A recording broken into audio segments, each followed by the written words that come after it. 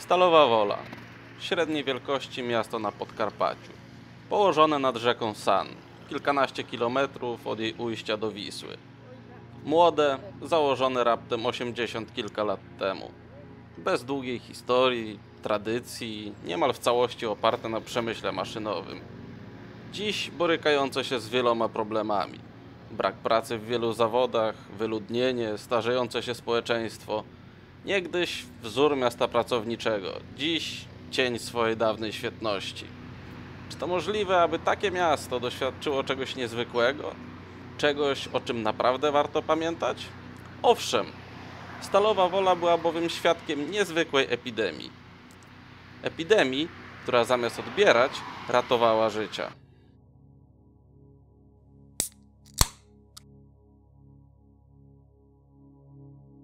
Uwaga!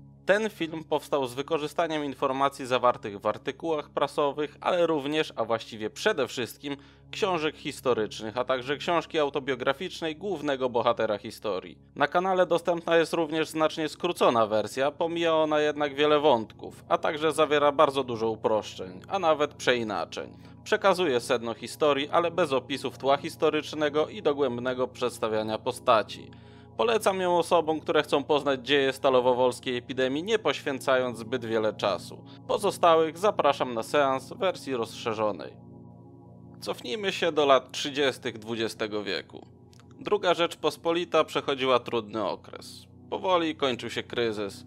Bezrobocie w miastach jednak ciągle wzrastało, a sytuacja na wsiach była bardzo trudna.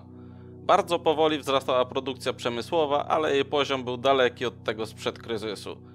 W tych trudnych warunkach próbował działać Eugeniusz Kwiatkowski, który od 1935 roku pełnił rolę wicepremiera do spraw ekonomicznych oraz ministra skarbu. Wiedział, że nie ma szans na szybkie zmiany w strukturze agrarnej, postanowił więc postawić na rozwój przemysłu. Gdy zatem poznał koncepcję braci Pawła i Władysława Kosierackich, przyklasnął jej bardzo chętnie. Razem opracowali czteroletni plan inwestycyjny. Pierwotnie inwestycje miały być prowadzone w całym kraju, ale rzeczywistość błyskawicznie zweryfikowała te plany. Kraju nie było stać na tak szeroko zakrojone reformy. W tej sytuacji Kwiatkowski zaproponował zebranie najważniejszych projektów w jednym rejonie. Dla bezpieczeństwa wybrał obszar południowej Polski, daleko zarówno od Rzeszy Niemieckiej, jak i ZSRR. Był to, jak sądzono, obszar poza zasięgiem ich lotnictwa. Poza tym rejon ten cechował się wysokim bezrobociem i przeludnieniem agrarnym, więc taka inwestycja mogła być ogromnym zastrzykiem energii dla rozwoju tego regionu. Sztab Główny Wojska Polskiego jeszcze w 1936 roku sporządził program rozbudowy przemysłu zbrojeniowego. Uznał wtedy, że potrzebna jest stal wysokiej jakości i niezbędne było zbudowanie nowej huty, która uzupełniałaby wytwórczość huty Bildon dla potrzeb wojska. Potem uznano, że przy hucie należy wybudować fabrykę armat. 3 sierpnia 1936 roku w teren wyruszyła specjalna komisja poszukująca odpowiedniego miejsca na budowę nowego kombinatu przemysłowego. Zbadali wiele miejsc, ale kierownik komisji Marceli Siedlanowski zdecydował, że najlepszym miejscem będą okolice wsi Pławo, leżącej między Niskiem a Rozwadowem. Było to miejsce idealne. Rzeka San zapewniała dużą ilość wody potrzebnej w metalurgii i energetyce, przebiegała tędy droga nr 10 Jarosław-Sandomierz, a także linia kolejowa Rozwadów-Przeworsk. Zapadła decyzja o budowie nowej huty oraz osiedla pracowniczego. W lutym 1937 roku w Nisku utworzono pierwsze biuro nowego zakładu, któremu nadano nazwę Zakłady Południowe. Na czele spółki stanął Marceli Siedlanowski. Prace nad budową przebiegały błyskawicznie, nie przerywano ich nawet zimą. Pierwsze maszyny ruszyły już w grudniu 1937 roku, a całe obiekty jak narzędziownia, dostarczająca konieczne do dalszej budowy narzędzia, już na początku 1938. Zakłady południowe ruszyły pełną parą na przełomie lutego i marca 1939 roku. 14 czerwca miało miejsce oficjalne otwarcie i poświęcenie, na którym stawili się prezydent Ignacy Mościcki i wicepremier Eugeniusz Kwiatkowski. Obok powstała elektrownia zasilająca ogromny kombinat, a także osiedle pracownicze, w którym schronienie znaleźli wszyscy zatrudnieni. Rozrastający się projekt potrzebował nazwy i otrzymał ją. Zaczerpnięto z wypowiedzi ministra spraw wojskowych Tadeusza Kasprzyckiego, który o budowie Centralnego Okręgu Przemysłowego powiedział, że jest to stalowa wola narodu polskiego wybicia się na nowoczesność. Nowe osiedle otrzymało nazwę Stalowa Wola. Jedna z najważniejszych inwestycji kraju rozwijała swoje skrzydła. Nad horyzontem zaczęły się jednak gromadzić czarne chmury. Wrzesień 1939 roku. Już w pierwszych dniach wojny nad Stalową Wolą pojawiły się niemieckie samoloty. Nie przeprowadzano jednak większych bombardowań. Niemcy doskonale zdawali sobie sprawę, jaki zakład powstał w tym miejscu. Przejęcie pachnącego nowością dużego zakładu zbrojeniowego było im bardzo na rękę. Skupili się więc na bombardowaniu przede wszystkim dróg i dworca kolejowego. Zakłady południowe starali się oszczędzać. Jedna z bomb uszkodziła narożnik hali walcowni, zginęło trzech ludzi. Poza tym jednak można powiedzieć, że Stalowa Wola miała szczęście. 14 września do miasta weszli Niemcy. Zakłady południowe zostały zajęte.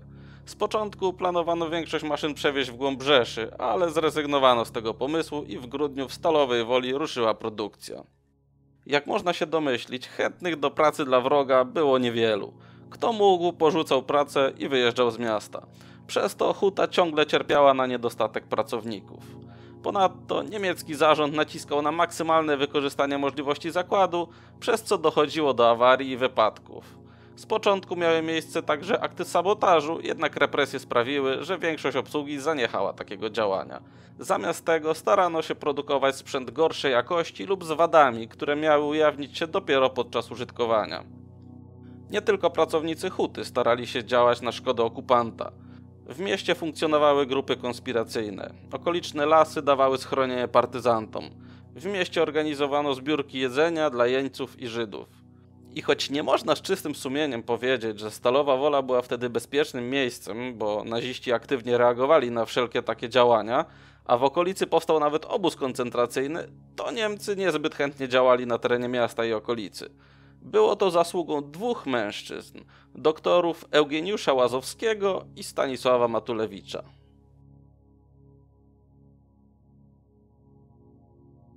Eugeniusz Sławomir Łazowski urodził się w 1913 roku w Częstochowie. Gdy Polska odzyskała niepodległość, przeniósł się wraz z rodzicami do Warszawy.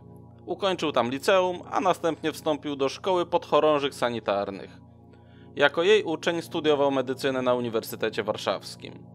Rzuciwszy się w wir nauki, poznał na studiach wielu ciekawych ludzi, których nazwiska i dziś budzą szacunek, jak choćby Jana Nowaka Jeziorańskiego. W sekcji fotograficznej zaś wspólne zamiłowanie do fotografii zbliżyło go do Stanisława Matulewicza, znanego z tego, że był złotą rączką.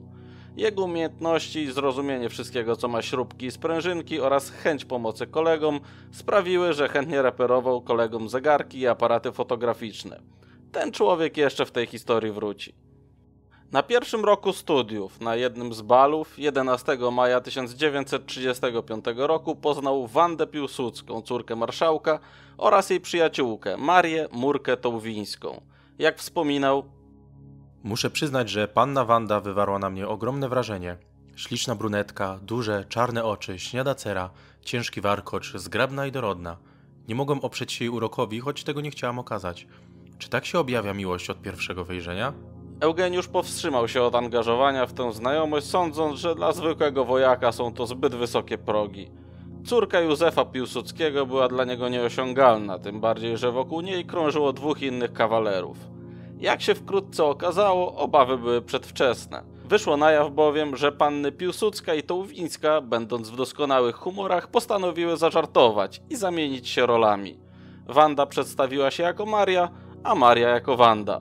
Gdy żart się wydał, Eugeniusz z jednej strony poczuł urażoną dumę, z drugiej nadzieję, gdyż osoba, która go oczarowała, nie była córką marszałka, a inżyniera. Tego wieczoru jednak nie zatańczył z żadną z nich. W następstwie tego nie związał się bliżej z Marią, a z inną dziewczyną. Związek ten jednak zaczął się psuć i wtedy nagle zimą 1937 roku Eugeniusz spotkał Murkę w tramwaju. Wróciło zauroczenie, rozmowa potoczyła się tak, że konieczne było jej dokończenie podczas innego spotkania, potem kolejnego.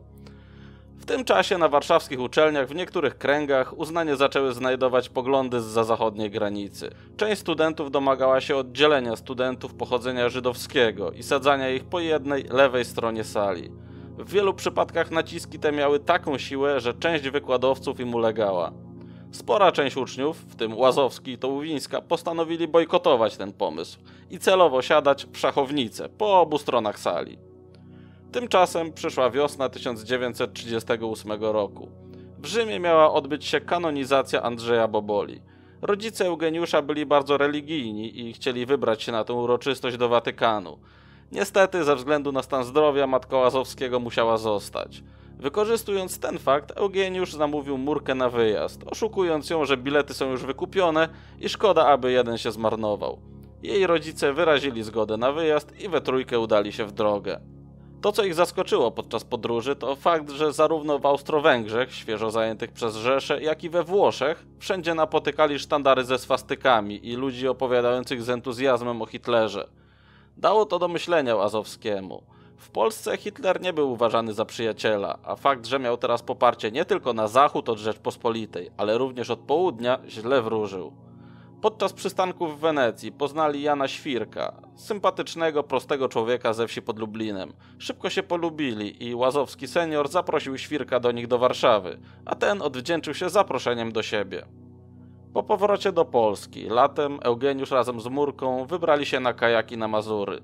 Podczas tego wypadu doszedł do wniosku, że jego partnerka jest nie tylko dobrym kompanem do wycieczek, ale będzie i odpowiednią osobą do spędzenia wspólnie życia.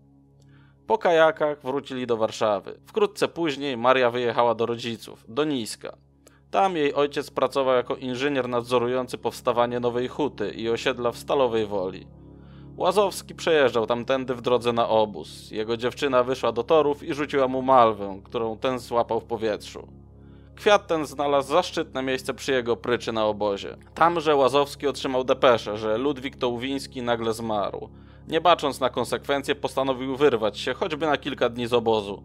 Na szczęście otrzymał na to zgodę i błyskawicznie znalazł się przy Marii. Wdową zaopiekowali się przyjaciele. Oprócz renty po mężu, otrzymała również licencję na prowadzenie podhurtowni tytoniowej w Stalowej Woli.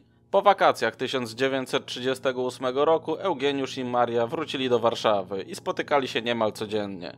Ich znajomość stale pogłębiała się, aż 8 grudnia w Stalowej Woli odbyły się oficjalne zaręczyny. Wtedy też Eugeniusz poznał środowisko młodych inżynierów, przyjaciół niedoszłego teścia i został przez nich zaakceptowany. Również matka Marii wyraziła aprobatę dla zaręczyn. Pod koniec grudnia 1938 roku Eugeniusz otrzymał absolutorium, czyli zaliczenie wszystkich ćwiczeń, wykładów i kolokwiów. Aby uzyskać dyplom lekarza, pozostało zdać mu 23 egzaminy podzielone na 7 grup. Aby móc zdawać egzaminy z kolejnej grupy, należało zdać wszystkie z poprzedniej. W trakcie studiów Eugeniusz zdał wszystkie 11 egzaminów w pierwszych czterech grupach. W grupie piątej znajdowały się dermatologia z wenerologią, pediatria, neurologia, psychiatria, neurologia i interna, czyli choroby wewnętrzne. Właśnie z tą ostatnią Eugeniusz miał problem. A właściwie nie z przedmiotem, a egzaminatorem. Idąc na egzamin, Łazowski odebrał od stolarza miecze od kajaka i poprzeczkę, gdyż zaraz po egzaminie wybierał się na przystań. Przyzwyczajony do wymoczkowatych żaków o podkrążonych od nauki oczach, profesor ujrzawszy wielką paczkę w kącie i opalonego i wysportowanego studenta, oblał go mimo doskonałej wiedzy. Również egzamin poprawkowy nie został zaliczony, a Łazowski został skierowany na miesięczne praktyki w szpitalu, po których wspomniany profesor wpisał zaliczenie bez żadnych pytań. Łazowski rzucił się w wir egzaminów z kolejnej grupy. Udało mu się zdać ginekologię z położnictwem i laryngologię. Przygotowania do kolejnych egzaminów przerwał 1 września 1939 roku. Wszyscy studenci z zaliczonymi egzaminami czy nie zostali zmobilizowani. Otrzymali nominacje na podporuczników i rozkaz czekania na przydział. W tym czasie, korzystając z wolnych chwil, Eugeniusz przesiadywał u narzeczonej, przebywającej u przyjaciółki, panny Piłsudskiej, a także u swoich rodziców. W końcu, w nocy z 6 na 7 września, przyszedł rozkaz zameldowania się w Brześciu nad Bugiem. Łazowski spakował się i dołączył do oddziału. Ku jego zdumieniu okazało się, że dystans 180 km do celu mieli pokonać pieszo. Wkrótce zobaczyli, jak bardzo sytuacja w kraju różniła się od tej w stolicy. Warszawa była bombardowana, to fakt, ale zewsząd było słychać głosy, że lada moment do wojny włączą się sojusznicy, Anglia i Francja, i należy się bronić i czekać. Tymczasem, po dotarciu do drogi przelotowej za Warszawą, ujrzeli tłumy ludzi uciekających na wschód, czym się dało. Samochodami, na wozach, rowerami, pieszo, wokół ciała ludzi, którzy zginęli podczas nalotów i wciąż tlące się szczątki budynków. Przez ten ścisk próbowały przeciskać się auta cywilne i wojskowe. W tym tłumie trudno było wypatrzeć niemieckich dywersantów, którzy chętnie to wykorzystywali. Wzniecali pożary, organizowali zasadzki, czy ubrani w polskie mundury kierowali na rozstajach wojsko w niewłaściwym kierunku. Unikając głównych dróg, w obawie przed atakiem z powietrza, oddział Azowskiego pokonał w ciągu jednego dnia 55 kilometrów. Dotarwszy do sanatorium w Rudce, przekształconego w szpital, z zawodem usłyszeli, że wciąż nie wiadomo o ataku sojuszników na Rzeszę. Następnego dnia została im przydzielona ciężarówka, którą dotarli do twierdzy Brześć. Na miejscu okazało się, że niemal nikogo tam nie ma. Większość załogi została już ewakuowana dalej na wschód. Nie było również komu wydać odpowiednich przydziałów nowo przybyłym. Byli więc przydzielani tam, gdzie akurat brakowało personelu. Łazowski został skierowany do opieki nad rannymi Niemcami. Choć doskonale znał niemiecki, nie zamierzał z nimi rozmawiać. Jako lekarz jednak starał się ich leczyć najlepiej jak umiał. Ci zaś z wdzięczności obiecali mu, że gdy już Polska upadnie, wstawią się za nim. Trzeciego dnia do Brześcia przybyło kilku lekarzy, więc Łazowski otrzymał kolejny już przydział z przypadku. Miał dołączyć do załogi pociągu sanitarnego numer 95, mającego przetransportować rannych z Brześcia do Baranowicz. Pociąg ze względu na uszkodzenia torów podróżował powoli. Często musiał się zatrzymywać, aby można było zreperować uszkodzenia przed nimi. Częste były również niemieckie naloty. Podczas ataku pociąg zatrzymywał się, a kto mógł, rzucał się w rów lub okoliczne krzaki. Łazowski był jednym z niewielu, którzy pozostawali w pociągu. Był przez to szanowany za szczególną odwagę, jednak jak sam wyjawił, nie kierował się odwagą, a wyrachowaniem. Jako zapalony strzelec doskonale wiedział, że najtrudniej jest trafić w sam środek tarczy, w dziesiątkę. Dużo bardziej prawdopodobne jest, że pocisk trafi w dziewiątkę lub ósemkę. Dla pilota strzelającego do pociągu był on właśnie środkiem tarczy i większość pocisków trafiała dookoła niego. Jedynie nieliczne trafiały w wagony. Paradoksalnie więc bezpieczniejszym było się wewnątrz pociągu niż w okolicznych krzakach czy rowach. Dotarwszy do Baranowicz, pociąg został skierowany do Równego. 15 września pociąg dotarł w okolicy stacji Maniewicze. Łazowski wraz z przydzielonym mu podoficerem otrzymał rozkaz udania się do pobliskiej wsi celem zdobycia jedzenia. Dla wygody zmienił wojskowe buty na tenisówki i we dwóch wyruszyli w kilkukilometrowy marsz. Na miejscu okazało się, że ze wsi pozostały jedynie zgliszcza. Nie zdobywszy niczego, ruszyli w drogę powrotną. Na miejscu napotkali makabryczny widok. Podczas ich nieobecności ich pociąg został zbombardowany. Zginęło dwadzieścia kilka osób, tyle samo było rannych. Jedna z bomb trafiła dokładnie w wagon Łazowskiego. Całe jego wyposażenie uległo zniszczeniu, a on sam przeżył tylko dzięki szczęściu. Mimo wyraźnych oznaczeń Czerwonego Krzyża, zgodnie z konwencją genewską, Niemcy nie zawahali się atakować pociągu sanitarnego. Lżej ranni podzielili się na grupy i udali na zachód. Pozostali zostali na miejscu, pod opieką cywilnych lekarzy. Jednostka pociągu numer 95 przestała istnieć. Eugeniusz znów został bez przydziału. 17 września w miasteczku Łazowski usłyszał w radiu komunikat, że na ziemię polskie wkroczyła armia radziecka. Ile sił w nogach pobiegł na stację kolejową. Tam wśród żołnierzy i nowych armat z zakładów południowych odszukał podpułkownika, któremu zameldował co usłyszał. Ten, nie mogąc uwierzyć, kazał Łazowskiego aresztować za składanie fałszywego meldunku. Po sprawdzeniu informacji podpułkownik z ponurą miną kazał zwolnić Eugeniusza, a dowiedziawszy się, że ten jest lekarzem, przydzielił go do batalionu Bucław, w którym brakowało lekarza. Wraz z nim wyruszył na zachód, aby wspomóc siły wciąż walczące z Niemcami. Szli lasami, z rozkazem nieatakowania Sowietów, o ile ci nie zaatakują pierwsi. Byli pozostawieni sami sobie. Nie mogli liczyć na wsparcie ludności polskiej, biednej i przerażonej, zaś lokalna ludność ukraińska była wyraźnie wrogo nastawiona. W końcu jednak doszło do bitwy. Oddział Łazowskiego został zaatakowany przez armię radziecką.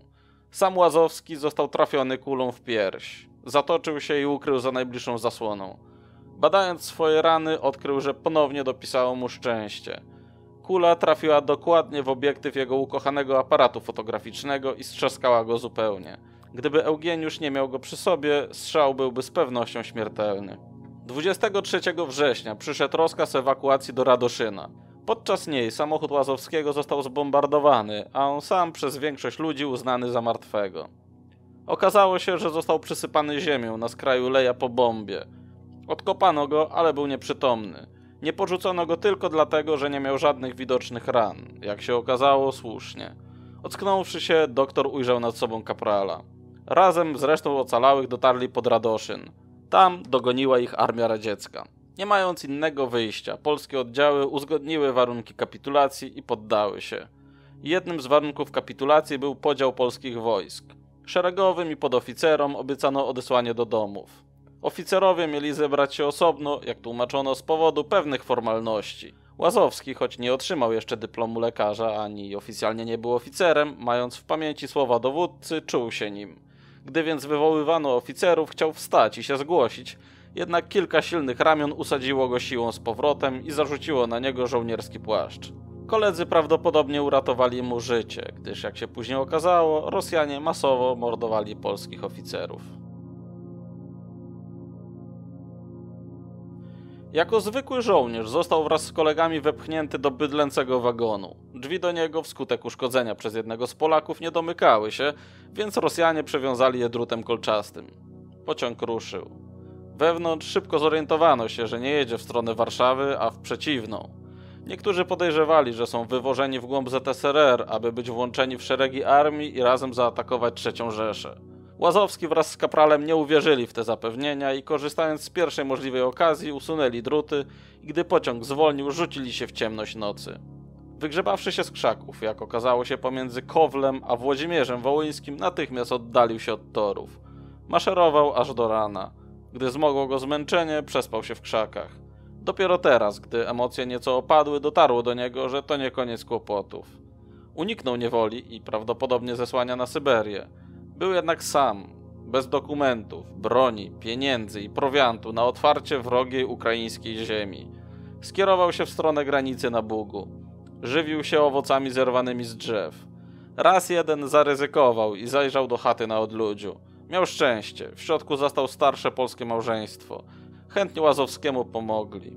Kilkadziesiąt minut po opuszczeniu chaty spotkał polskiego żołnierza, który zaproponował towarzystwo. Eugeniusz odmówił, tłumacząc się kiepskim tempem spowodowanym urazem nogi. W rzeczywistości uważał, że bezpieczniejszy będzie sam. Żołnierz wyprzedził go i zniknął w oddali. Niedługo później Łazowski usłyszał podejrzane dźwięki dobiegające z krzaków. Podpełzł po cichu sprawdzić, co je powoduje. Ujrzał mężczyznę, który chciał mu towarzyszyć. Siedział na ziemi, obok leżał rozpięty plecak, z którego aż wysypywały się pliki banknotów. Żołnierz nie zauważył Łazowskiego i w spokoju przeliczał swój majątek. Skończywszy, spakował z powrotem fortunę i ruszył na trakt. Eugeniusz odczekał w ukryciu jeszcze godzinę i ruszył dalej. Wkrótce spotkał go ponownie. Wisiał na drzewie, powieszony za nogi, martwy. Tuż obok trzech Ukraińców kłóciło się o podział łupu. Doktor prześliznął się niezauważony obok i już po chwili był nad Bugiem. Przeprawił się przez rzekę i odetchnął z ulgą. Był u siebie na polskiej ziemi. Planował dotrzeć do Chełma, a potem przez Lublin do Warszawy. Korzystał z pomocy ludzi, którzy chętnie podwozili polskiego żołnierza. Planował odnaleźć w Chełmie swojego brata ciotecznego. Liczył, że ten może coś wie o sytuacji rodziców w stolicy. Podczas podróży wozem spostrzegł jednak wojskowy wóz sanitarny. Zeskoczył na drogę i podążył za wozem do szpitala.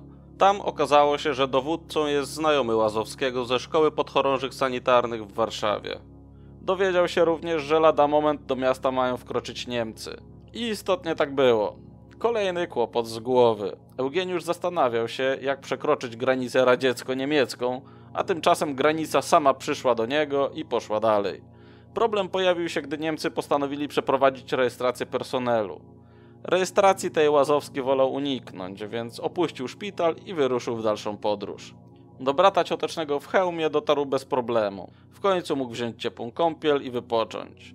Dostał również nowe cywilne ubranie, a także nowe buty, a wysłużone tenisówki wylądowały w koszu. Odpocząwszy dostatecznie, wyruszył dalej. Był 11 lub 12 października.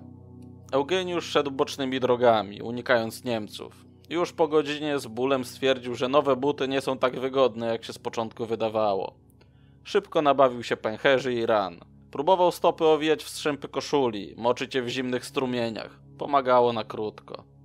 Od napotkanych wędrowców dowiedział się, że Niemcy wyłapują polskich żołnierzy i wywożą ich na zachód. Ból stóp był tak dotkliwy, że Łazowski postanowił dać się schwytać pierwszemu napotkanemu patrolowi. Wyszedł na trasę Chełm-Lublin i czekał. Nie czekał długo. Niemieccy żołnierze pomogli mu nawet wsiąść na pakę ciężarówki. Nie wiedział, gdzie go wiozą, ale cieszył się, że przynajmniej we właściwym kierunku. I przede wszystkim jechał, a nie musiał iść. Dotarli do obozu pod Lublinem. Wysiadłszy, ujrzał zabiedzone i wygłodzone twarze polskich żołnierzy. Korzystając z zamieszania, uniknął rejestracji, wciskając się pomiędzy już zarejestrowanych przywiezionych. Podczas krótkiej rozmowy z jeńcami dowiedział się, że trzymają ich tu w skandalicznych warunkach, o głodowych racjach żywnościowych, pod gołym niebem, a za latryny służą im rowy. Zrozumiał, że jedyną szansą dla niego jest ucieczka czym prędzej. Za płotem z drutu ujrzał konny wóz. Korzystając z doświadczenia sportowego, jednym susem przeskoczył płot i wylądował po drugiej stronie. Otrzepał się i stanął przy wozie. Zaniepokojony hałasem strażnik przybiegł, ale wziął Łazowskiego za woźnicę i zostawił w spokoju. Gdy tylko Niemiec się oddalił, Eugeniusz rzucił się w krzaki i dalej do ucieczki. Niewola w obozie trwała niecałe dwie godziny. Ochłonąwszy chwilę, musiał się zastanowić, co dalej. Cel jego podróży, stolica, był odległy. Podróż tam byłaby długa i prawdopodobnie niebezpieczna. Z drugiej strony, Stalowa Wola była znacznie bliżej, choć w przeciwnym kierunku. Tam zaś była matka Murki, która mogła coś wiedzieć o rodzicach Łazowskiego. Mogła też być tam sama Murka.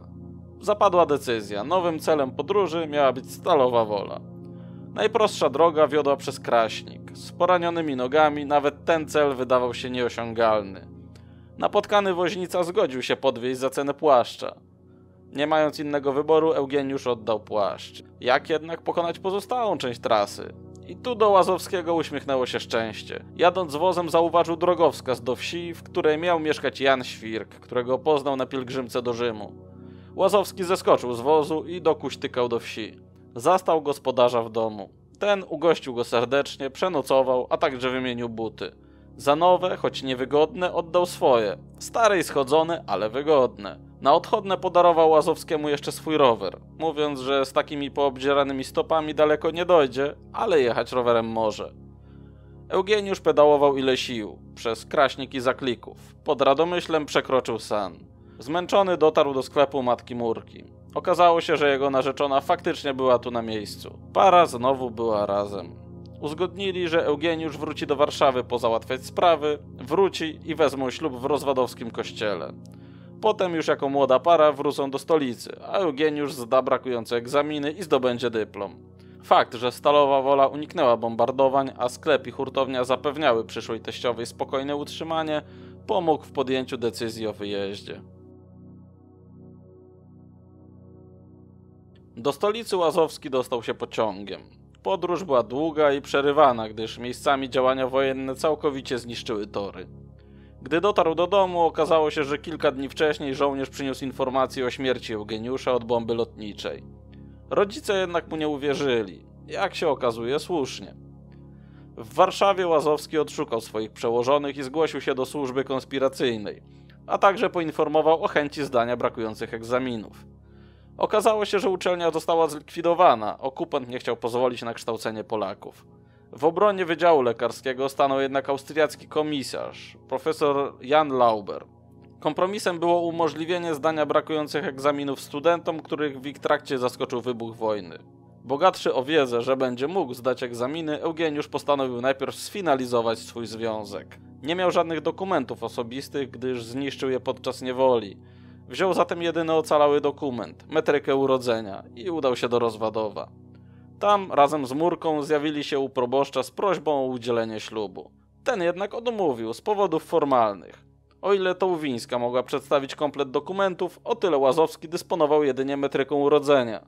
Na nic zdały się prośby. Ksiądz był nieugięty. Argumentował, że od momentu powołania do wojska narzeczeni się nie widzieli i bez kompletu dokumentów nie jest w stanie stwierdzić, że przyszły pan młody na przykład nie ożenił się gdzieś na froncie. Młodzi odeszli z niczym. Następnego dnia zjawili się z matką Murki, która zaświadczyła o tożsamości Eugeniusza i poświadczyła, że nie ma on żony. Bezskutecznie.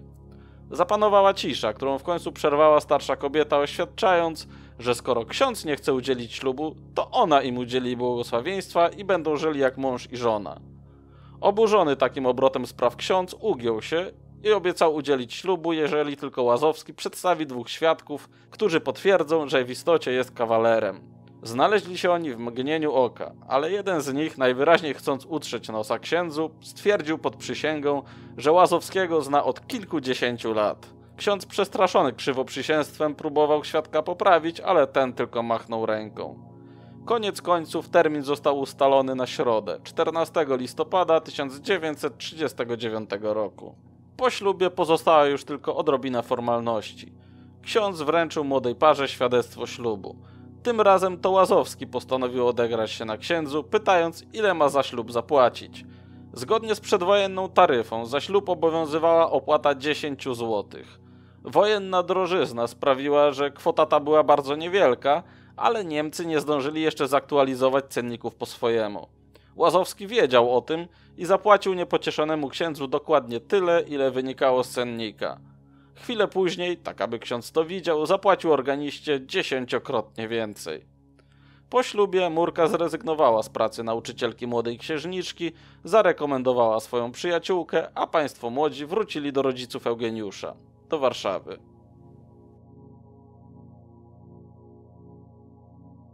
Miesiąc miodowy upłynął w niezbyt komfortowych warunkach. Zatrudnili się w szpitalu, ale nie zarabiali wiele.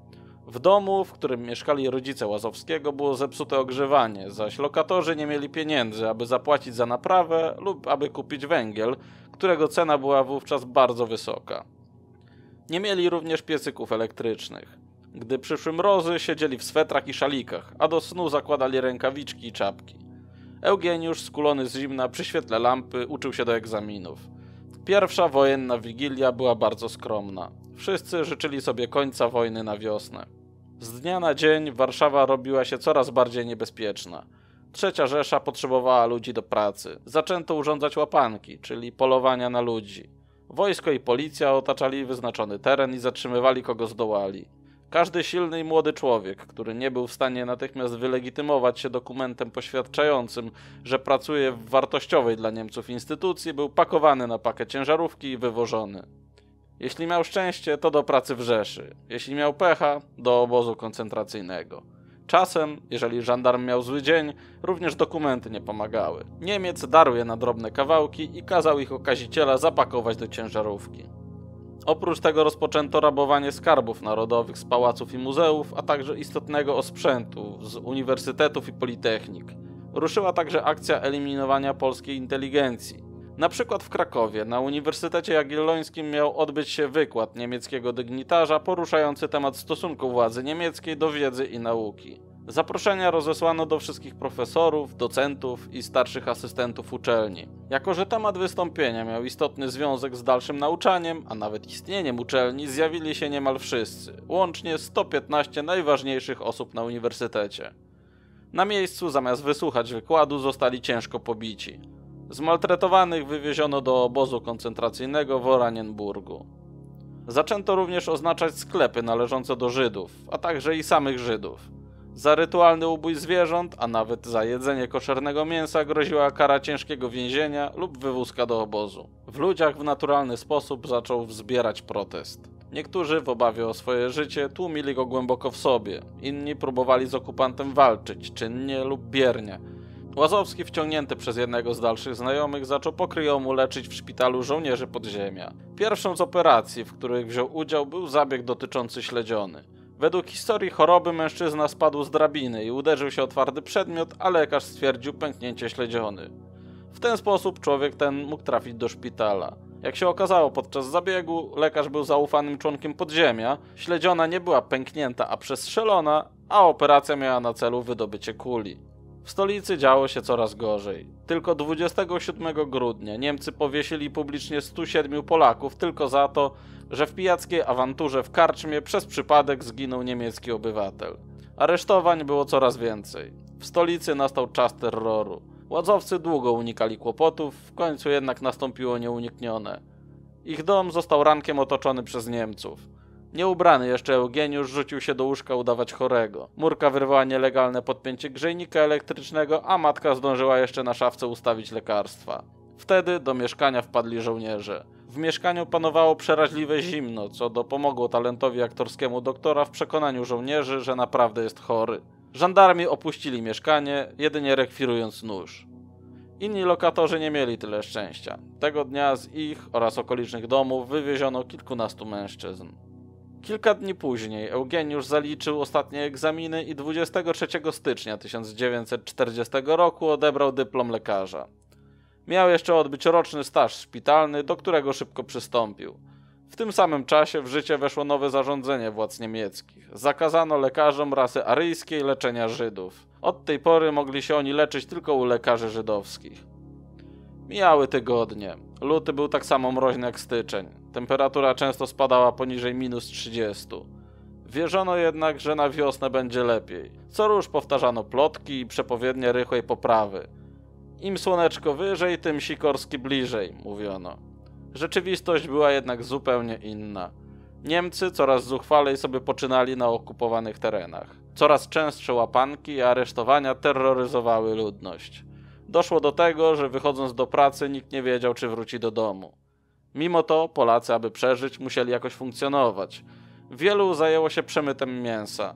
Był to proceder surowo zakazany, ale ryzyko się opłacało. W miastach potrzebne było jedzenie, a dostępność towarów była znikoma. Z kolei na wsiach ludzie hodowali zwierzęta, których mięso mogli sprzedawać. W lutym do drzwi łazowskich zapukał Jan Świrk. Przybył do stolicy z dwoma walizami mięsa. Złożył gospodarzom propozycję, że za użyczenie noclegu będzie im sprzedawał mięso po niższych cenach. Ci chętnie na to przystali. Świrk pojawiał się co kilka tygodni, a dieta Łazowskich zdecydowanie się poprawiła. W marcu do Łazowskiego zgłosił się kolega i zaproponował mu współpracę z podziemiem. Nic nie wiedział o dotychczasowym udziale doktora w potajemne leczenie polskich żołnierzy. Eugeniusz zgodził się i rozpoczęli współpracę. Tymczasem zaczęto szeptać o możliwym ataku Niemiec na Francję. Ludzie cieszyli się, licząc, że francuska obrona rozbije niemieckie armie i los wojny odwróci się. Ponownie serca wypełniła nadzieja. Nadchodziła wiosna. Nagle rankiem do mieszkania Łazowskich wpadło dwóch gestapowców. Aresztowali Eugeniusza i wywieźli do więzienia na Rakowieckiej. Doktor zaczął analizować, kto mógł zawinić. On? Jego współpracownicy? Lekarze? A może trefny był rower, który dostał od przyjaciela z podziemia? Rozmyślania przerwało wrzucenie do celi pobitego mężczyzny. Zaczął on rozmawiać z Eugeniuszem, podpuszczać go do buntu, prowokować do walki z okupantem. Trzeźwo myślący doktor zorientował się, że na ciężko pobitym człowieku nie widać w zasadzie śladów tego pobicia. Obawiając się, że to niemiecki prowokator, wygłosił krótką mowę, że nie powinno się Niemców atakować, a od nich uczyć sumienności i solidnej pracy. Po jakimś czasie Eugeniusz trafił na przesłuchanie. W poczekalni czekał dość długo, co napawało go nadzieją. Liczył, że przed nim wysłuchany zostanie raport prowokatora. Gdy sam trafił przed oficerów, szybko wyjaśniło się o co chodzi. Każdy oficer wojska polskiego miał obowiązek zarejestrować się u odpowiednich służb.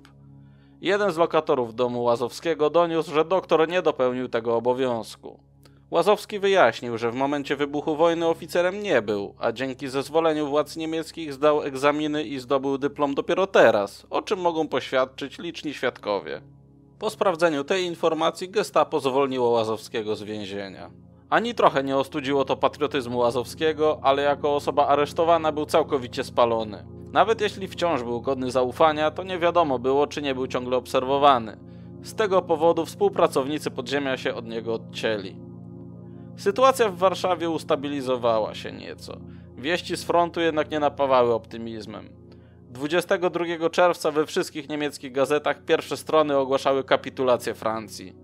Pojawiła się groźba, że upojeni sukcesami Niemcy wejdą na kolejny poziom terroru. Eugeniusz ukończył właśnie staż. Murka opanowała technikę podstawowych badań laboratoryjnych. Mogła już prowadzić laboratorium diagnostyczne przy gabinecie swojego męża. Pozostało pytanie, gdzie je otworzyć. Łazowski kochał Warszawę, czuł z nią silną więź. Było to jednak miasto niebezpieczne. W dodatku nie mógł tu pomóc rodakom walczącym z okupantem. Alternatywą była stalowa wola. Tam było spokojnie. Od kilku miesięcy pod zarządem niemieckim działały zakłady południowe, przemianowane teraz na Hermann Göring Werke. Uruchomili też ubezpieczalnię społeczną pod zarządem niemieckiego lekarza. Młodzi łazowscy dowiedzieli się, że księżna Lubomirska z Charzewic zorganizowała w pobliskim Rozwadowie oddział Czerwonego Krzyża. Odwiedzili księżną, a ta powitała ich serdecznie. Obiecała, że przyjmie Eugeniusza do pracy w ambulatorium PCK, wprawdzie bez wynagrodzenia, ale za to otrzyma on mieszkanie i prawo przyjmowania w gabinecie pacjentów prywatnie. Zapadła decyzja o przenosinach do Rozwadowa. Eugeniusz czym prędzej udał się do Krakowa zarejestrować w tamtejszej izbie lekarskiej i od 6 sierpnia 1940 roku był już pełnoprawnym lekarzem. Gdy dotarli do Rozwadowa, okazało się, że nie wszystko jest jeszcze gotowe. Ich mieszkanie przy rynku oraz gabinet miały być gotowe dopiero na wiosnę. Przydzielone im zostało tymczasowe lokum przy ulicy Matejki 3. Lekarskie szafki i wyposażenie laboratorium trafiło na przechowanie do dworu w Charzewicach. Tymczasowe mieszkanie było skromne. Łazowski porównując je z warszawskim opisał je wręcz jako prymitywne, ponieważ po wodę trzeba było chodzić do studni, a za potrzebą do wychodka na podwórzu. Było za to częściowo umeblowane. Ratusz, na parterze którego znajdowały się biura PCK, znajdował się tuż obok. W nim urzędowała również księżna Lubomirska. Bardzo szybko dała się poznać jako osoba bardzo ofiarna i pracująca bardzo wydajnie. Pomagała głównie wysiedleńcom z Poznańskiego. Byli oni również większością pacjentów Łazowskiego. Wysiedleńcy ci chętnie opowiadali, z jaką furią i nienawiścią byli pozbawiani praw i wszelkiej własności prywatnej, jak zmuszano ich do pracy w fatalnych warunkach o głodowych porcjach, jak zabraniano im używać języka polskiego. W końcu, gdy przyszedł czas wysiedlenia, dano im godzinę na spakowanie się, zapakowano ich do bydlęcych wagonów i wywieziono w różne rejony generalnego gubernatorstwa. Wszystkim tym, którzy trafili na teren zarządzany przez księżną Lubomirską, ta znalazła pracę i mieszkania. Doktor Łazowski dość szybko poznał również okolicznych kolegów po fachu. Część z tych znajomości przerodziła się w przyjaźnie. Szybko także zaskarbił sobie sympatię mieszkańców, jako dobry i godny zaufania lekarz. Do Rozwadowa docierały niepokojące informacje ze stolicy. W Warszawie nasilał się niemiecki terror. W październiku 1940 roku zostało utworzone getto, do którego przesiedlono Żydów. Dla równowagi chodziły również plotki o alianckich bombardowaniach Gdańska i Drezna. Z tej perspektywy życie w Stalowej Woli wydawało się bezpieczne, choć słyszano o aresztowaniach w okolicznych wsiach, rekwirowaniu sprzętu czy żywności. Mimo to łazowscy mogli odetchnąć z ulgą. Mieli mieszkanie otrzymane od księżnej, mieli pracę służącą ludziom, a jednocześnie istotną dla okupanta, więc wywózka raczej im nie groziła. Szanse na przypadkowe aresztowanie były tu dużo mniejsze niż w stolicy.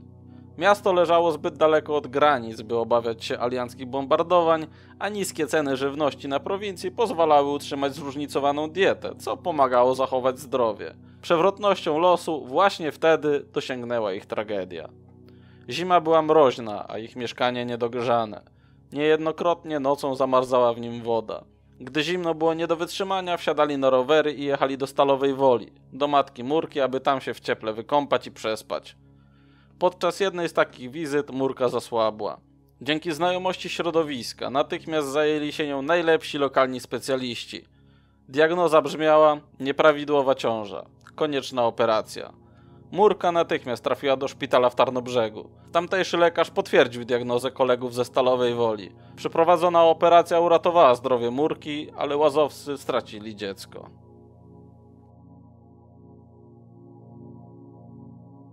Nadeszła wiosna, Murka doszła do zdrowia.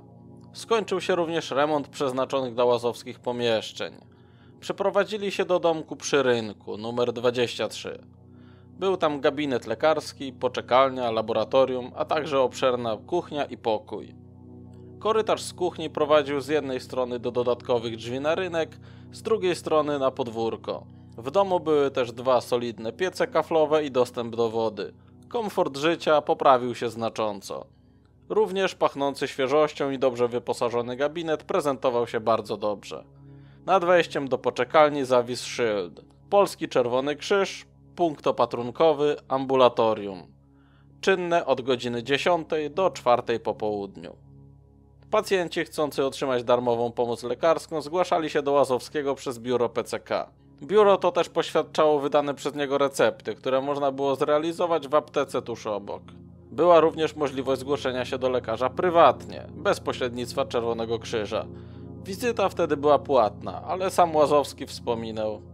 Pacjenci prywatni, których było na to stać, płacili za leczenie. Jeśli ktoś wydał mi się biedny lub zbyt ambitny, aby prosić w PCK o pomoc, stawiałem sprawę otwarcie. Mogą zapłacić w przyszłości, a jak i nie zapłacą, nie zbiednieje. Wdzięczni byli za to. Często, kiedy ich sytuacja materialna poprawiała się, zjawiali się u mnie, aby spłacić dług, który nigdy i nigdzie nie był zapisany. Takie podejście sprawiło, że Łazowski niemal natychmiast został zaklasyfikowany jako swój. Był postrzegany jako człowiek godny zaufania oraz jako pomocny i dobry lekarz. Również księżna była bardzo zadowolona z jego pracy. Wkrótce otrzymał propozycję pracy dla dworu w Charzewicach. Obejmowała ona leczenie pracowników i mieszkańców kilku wsi i folwarków po obu stronach Sanu. Był to niemały obszar. Obejmował Charzewice, Tartak i domy w Rozwadowie, Turbię, Pilchów, Sochy, Dzierdziówkę, Brandwice i Rzeczyce. Przyjęcie tego stanowiska wiązało się z ryzykiem. Rzeczyce od Charzewic dzieli 8 kilometrów. Niejednokrotnie lekarz mógł być wzywany wieczorem lub nawet nocą. Wprawdzie dysponował nocną przepustką lekarską, która uprawniała go do poruszania się w czasie godziny policyjnej, ale nie mógł mieć pewności, że któryś Niemiec najpierw nie strzeli, a potem będzie szukał przepustki. Mimo zagrożenia Łazowski zgodził się. Jako lekarz czuł obowiązek niesienia pomocy chorym. Nie bez znaczenia było również dodatkowe wynagrodzenie. Kwota była niezwykle niska jak na zarobki lekarzy, ale była wypłacana w naturze i to po urzędowych cenach. Sumarycznie więc wypłata w formie kaszy, mąki, cukru, spirytusu czy opału była warta więcej niż normalna pensja w gotówce. Opinia o doktorze dotarła szybko do odpowiednich osób w lokalnych oddziałach partyzantów, bo już w kilka dni po otwarciu ambulatorium do gabinetu wszedł barczysty mężczyzna, który przedstawił się jako kapitan Kruk. Zaproponował Łazowskiemu funkcję lekarza jednego z jego podkomendnych. Doktor zgodził się, a jako że był już wojskowym, nie musiał składać przysięgi. Zapytany o to, jaki pseudonim wybiera dla siebie, odpowiedział Leszcz. Do jego obowiązków należała pomoc rannym i chorym żołnierzom podziemia. Dosyć szybko wdrożył się w pomoc partyzantom i poznał wielu z nich, choć oczywiście nie znał ich imion i nazwisk, a jedynie pseudonimy. Dowiedział się jedynie, że księżna Anna Lubomirska znana jest jako Sowa, ale już nazwisko Kruka poznał dopiero po wojnie. Bardzo aktywną osobą podziemia była Pliszka, której nie poznał osobiście, a która od samego początku intrygowała Łazowskiego. Jednym z jej pomysłów było zorganizowanie pod patronatem PCK kursu pierwszej pomocy rannym. Księżna podeszła do tego pomysłu z ogromnym entuzjazmem. Udało się przekonać burmistrza do udzielenia zgody na taki kurs. Kurs się rozpoczął, a Pliszka była odpowiedzialna za to, aby trafiły nań dziewczęta z konspiracyjnej pomocniczej służby kobiet. Według niemieckiego planu polska ziemia miała przede wszystkim wyżywić Niemców. Na wszystkie gospodarstwa rolne nałożono kontyngenty tak duże, że niewiele zostawało na wyżywienie Polaków. Gospodarstwa rolne, które nie były w stanie wypełnić wyśrubowanych norm, były konfiskowane i przekazywane pod zarząd państwowy na tzw. Tak Liegenschaft. Była to oczywiście doskonała okazja do nadużyć w postaci przywłaszczania sobie przez Niemców majątku. W okolicy na Ligenschaft zabrano już Zaleszany, Baranów i Józefów. Kolejnym majątkiem, jaki upatrzyli sobie okupanci, były Charzewice. Księstwo lubomirscy zostali wyrzuceni z dworu, choć pozwolono im zamieszkać w pawilonie dla służby. Do Charzewickiego dworu swoją siedzibę przeniósł Oberleitner Martin Fuldner. Nastąpiły zmiany personalne. Wszystkie stanowiska zostały obsadzone przez Niemców i Volksdeutschów. Wyjątkami byli dyrektor ogrodnictwa, pan Woźniak, ze względu na swoje pochodzenie z Górnego Śląska oraz doktor Łazowski, ponieważ potrzebny był do leczenia swoich rodaków, którym nie wolno było korzystać z usług niemieckich lekarzy. Księżna i książę nie zmienili sposobu bycia. Nie narzekali, ani nie opuścili ani jednego dnia pracy. Ich służba, lokaj, pokojówka i kucharz pozostali przy nich. Pracowali bez wynagrodzenia. W tym czasie do Eugeniusza przyszedł list od starego znajomego ze studiów, Stanisława Matulewicza, który pisał z zapytaniem, czy nie znalazłaby się dla niego praca w okolicy. Łazowski chętnie zgodził się odstąpić mu część prywatnej praktyki, a jako miejsce osiedlenia polecił pobliski Zbydniów, wieś z majątkiem państwa chorodyńskich. Do tej pory nie zamieszkał tam żaden lekarz. Eugeniusz liczył na przybycie znajomego, gdyż powoli przestawał nadążać za rosnącą liczbą pacjentów. Zaczęto do niego kierować również pacjentów przejezdnych. Rozwadów był dużą stacją węzłową i jeśli ktoś zasłabł w pociągu, na stacji lub z innego powodu potrzebował pomocy lekarza, kierowano go do ambulatorium Łazowskiego. Zaproponowano mu również pracę dla ubezpieczalni społecznej jako lekarza pracowników Huty i stalowni w Stalowej Woli, którzy mieszkali w pobliżu Rozwadowa. Zgodził się i na tę propozycję, zaznaczając, że bez pomocy pielęgniarki sobie z taką ilością pacjentów nie poradzi. Została mu przydzielona panna Maria, o której przez pliszkę dowiedział się, że jest godną zaufania patriotką. Późną wiosną Łazowski miał ręce pełne pracy. Tymczasem polityczne plotki nie napawały optymizmem. Od jakiegoś czasu nasilił się ruch kolejowy i drogowy. Na wschód ciągnęły długie wojskowe konwoje. Zaczęto szeptać, że Trzecia Rzesza planuje zaatakować swojego sojusznika Związek Radziecki. Zwiększony ruch i pośpiech niemieckiego wojska dał możliwość częstszych ataków polskim partyzantom, z czego skrzętnie korzystali. Pewnej nocy Eugeniusza zbudził telefon.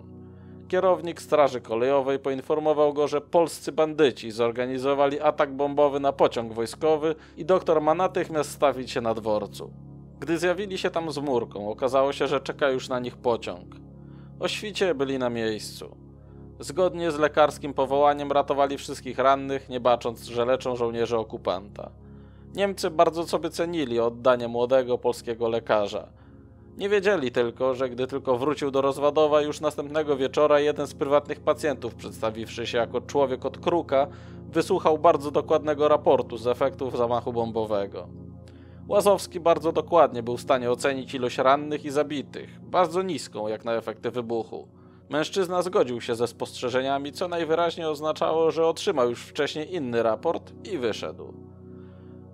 Kolejną zmianą w życiu Łazowskiego byli kolejni pacjenci. Pewnego wieczoru, gdy łazowcy odpoczywali w ogrodzie, z okolicy dziury w płocie wychodzącej na ulicę Kochanowskiego usłyszeli ciche wołanie.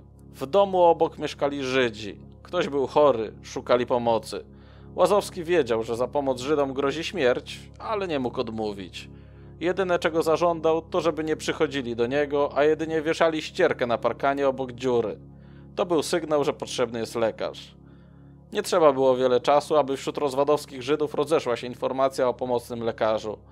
Często bywało tak, że po ujrzeniu znaku i stawieniu się w domu sąsiadów napotykał tam nawet kilka osób czekających na pomoc. W ten sposób, choć niemal obciążony pracą ponad siły, Łazowski zyskał sobie sympatię wszystkich. Mógł przez to czuć się bezpiecznie. Niemcy darzyli go również zaufaniem, gdyż starannie pracował na korzyść Rzeszy. Do tego stopnia, że pewnego dnia do jego gabinetu weszło dwóch żołnierzy z niemowlęciem i oznajmiwszy, że znaleźli je przy torach, kazali ocenić, czy jest to niemowlę rasy aryjskiej czy semickiej. Powód był oczywisty. W przypadku chłopca sprawa była prosta. Gdyby był obrzezany, czekała go śmierć. Jeśli nie był, trafiłby do rodziny zastępczej.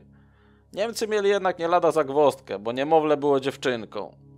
Nie mając pojęcia co robić, doktor wziął miednicomierz, taki sprzęt ginekologiczny jakby co, i pomierzył główkę dziecka na wszystkie możliwe sposoby, zapisując pomiary.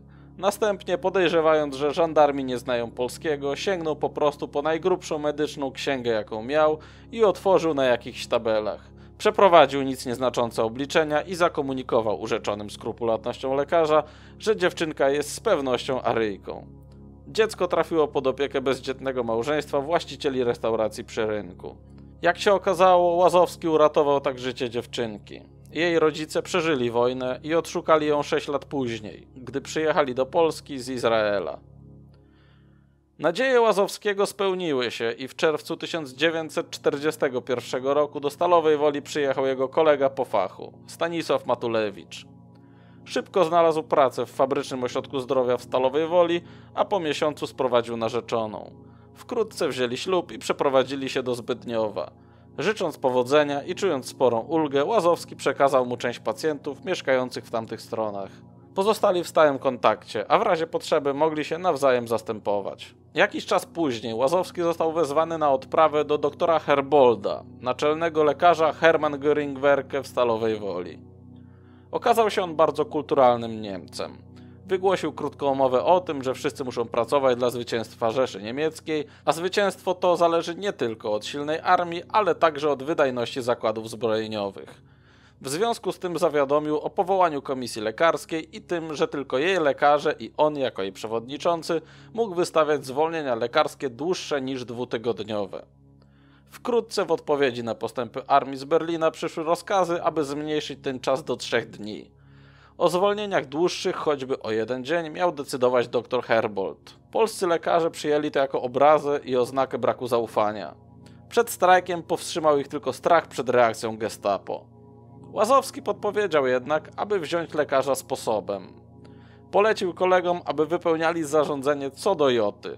Każdy z lekarzy zaczął odsyłać po kilkunastu pacjentów dziennie doktorowi Herboldowi z prośbą o przedłużenie zwolnienia. Ten, przerażony kilkudziesięciometrowymi kolejkami pod gabinetem, przywrócił możliwość wystawiania innym lekarzom tygodniowych zwolnień. Jak jednak sam Łazowski przyznał, dr Herbold nie był typowym biernym wykonawcą rozkazów z Berlina.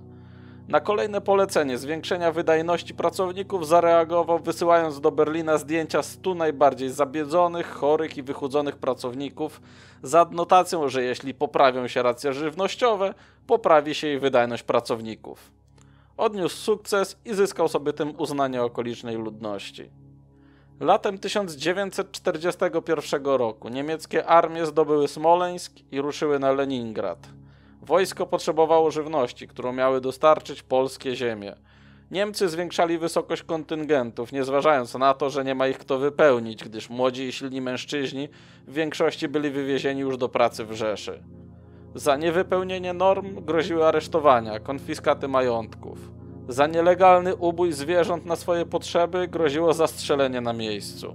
Wprowadzono kartki na jedzenie. Przydziały dla Polaków były bardzo niskie, a dla Żydów wręcz głodowe. Polską odpowiedzią było dostarczanie surowców jak najgorszej jakości i ani grama więcej niż było wymagane, ale takie działanie spotykało się z niemiecką agresją. Palili wsie razem z ludźmi. Na odpowiedź polskich partyzantów nie trzeba było długo czekać. Wzmogła się liczba ataków, rosła liczba rannych i zabitych. Łazowski pracował ofiarnie, ale widząc ofiary żołnierzy polskiego podziemia pragnął zrobić coś więcej. Co jednak mógł jeszcze zrobić? Jak chronić rodaków przed niemieckim terrorem? Tego nie wiedział. Wkrótce do Łazowskiego trafił ciężko chory na tyfus plamisty. Zachorował tydzień wcześniej, ale do lekarza nie stawił się, gdyż myślał, że to zwykłe przeziębienie. Dopiero gdy gorączka przekroczyła 40 stopni, a ciało pokryła wysypka, rodzina wezwała lekarza.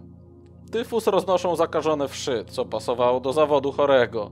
Trudnił się on przemytem żywności i często podróżował koleją, gdzie spotykał wielu ludzi. Prawdopodobnie musiał złapać wszy od jednego z wielu licznych współpasażerów. Tyfus był jedną z chorób, których Niemcy bali się wręcz panicznie. Przed wybuchem wojny niemal nie znali tej choroby, ale brud, brak higieny i reszta wojennych warunków dramatycznie zwiększyły zachorowalność na tę roznoszoną przez wszy chorobę. Objawiała się gorączką, bólem głowy i wysypką. Chory chudł w kilka dni, zaczynał majaczyć, następnie tracił przytomność, często umierał. Osób podejrzewanych o bycie chorym na tyfus nie wpuszczano do Rzeszy, a żołnierzy, którzy mieli pecha zachorować, poddawano kwarantannie, a ich ubrania palono. W tym czasie nie znano skutecznego lekarstwa na tyfus, a szczepienia były rzadkością, zwłaszcza u Polaków. Mimo wyższej odporności na tę chorobę u Polaków niż Niemców, władze okupanta zdawały sobie sprawę, że fatalna dieta i niewolnicza praca obniżają odporność ludności do poziomu, w którym możliwe są liczne zarażenia tą i innymi chorobami. Niewykryta choroba mogła roznieść się przez przesiedlenia i wywózki do pracy i obozów. Bojąc się możliwych konsekwencji wybuchu epidemii, Niemcy wpadli wręcz w paranoję, wymagając, aby od absolutnie każdego podejrzanego o tyfus pobierać próbki i wysyłać do niemieckiego laboratorium, gdzie przeprowadzano badania. Choć dr Łazowski nigdy wcześniej nie miał styczności z tą chorobą, biorąc pod uwagę objawy swojego pacjenta, stwierdził tyfus. Pobrał próbki krwi i wysłał je do laboratorium. W międzyczasie poinstruował rodzinę chorego, jak o niego dbać. Po kilku dniach pocztą przyszły wyniki potwierdzające diagnozę. Pacjent dzięki opiece i sile organizmu wyzdrowiał.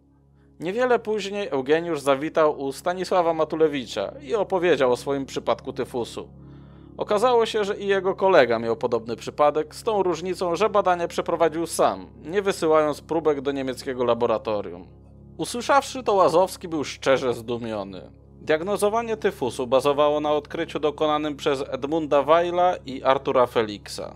Podczas epidemii tyfusu w latach 1915-1916 w Galicji odkryli oni, że w krwi chorych powstają przeciwciała, które zlepiają bakterię Proteus vulgaris. Badanie na odczyn Weila Felixa było w latach 40. uznanym sposobem diagnostyki przeprowadzanym przez Niemców. Przeprowadzenie tego badania bez specjalistycznej aparatury, w prymitywnych warunkach, w komórce na podwórku wydawało się całkowicie niemożliwe.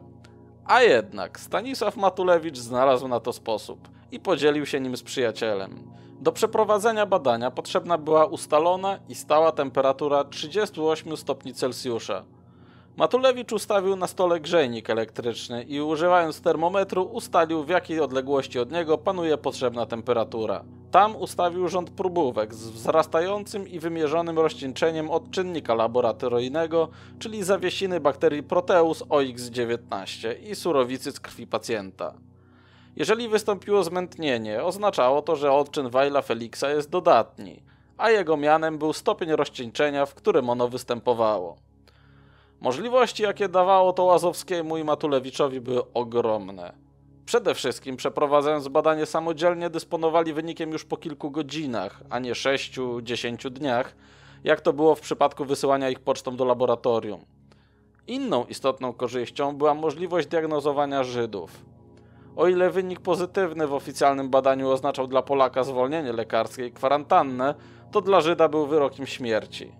Dzięki pomysłowości Matulewicza lekarze mogli to robić sami, nie ryzykując życia żydowskich pacjentów. Tego wieczora Stanisław pochwalił się jeszcze jednym, z pozoru mało istotnym odkryciem. Matulewicz doszedł do wniosku, że skoro bakterie Proteus dawały dodatni oczyn Weila Felixa z surowicą chorego na tyfus plamisty, to bezpośredni, domięśniowy zastrzyk z tymi bakteriami u zdrowego człowieka mógł spowodować w surowicy takie zmiany, że odczyn wypadnie dodatni. Wkrótce trafiła się możliwość sprawdzenia tej teorii w praktyce. Robotnikom przymusowym w Rzeszy za dobrą pracę przysługiwał urlop. Do Matulewicza zgłosił się człowiek, którego aresztowano podczas łapanki. Gdy udało mu się wypracować dwa tygodnie urlopu, wrócił do rodziny, którą zastał w skrajnej nędzy. Postanowił nie wracać do Rzeszy. Prosił, wręcz błagał doktora o znalezienie sposobu, aby nie musiał wracać do katorżniczej pracy. Mimo, że mężczyzna sugerował nawet obcięcie ręki czy nogi, dla lekarza oczywiście trwałe okaleczenie człowieka nie wchodziło w grę. Zamiast tego Matulewicz zaproponował wstrzyknięcie bakterii Proteus OX19. Uprzedzony o niebezpieczeństwie, jakie grozi im obydwu w razie porażki, mężczyzna się zgodził. Stanisław poinstruował mężczyznę, w jaki sposób skutecznie symulować tyfus.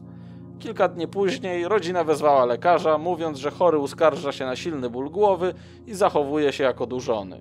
Matulewicz wykonał zastrzyk i zasugerował rodzinie, że to może być tyfus. Sześć dni później pobrał próbkę krwi i wysłał ją do niemieckiego laboratorium. Tam, zgodnie z oczekiwaniami, stwierdzono, że chory cierpi na tyfus. Zamiast wracać do przymusowej pracy, mężczyzna trafił na kwarantannę. Również jego rodzina została wykluczona z wywózek w obawie, że mogą być chorzy lub przenosić zarażone wszy.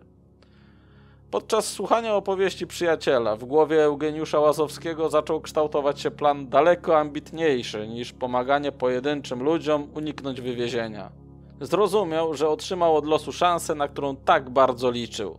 Odkrycie Matulewicza w odpowiednich rękach mogło ocalić znacznie więcej niż kilka osób. Wiedząc, że Niemcy boją się tyfusu tak samo, albo i bardziej niż wrogiej armii, Łazowski zaproponował, aby obaj wywołali fałszywą epidemię.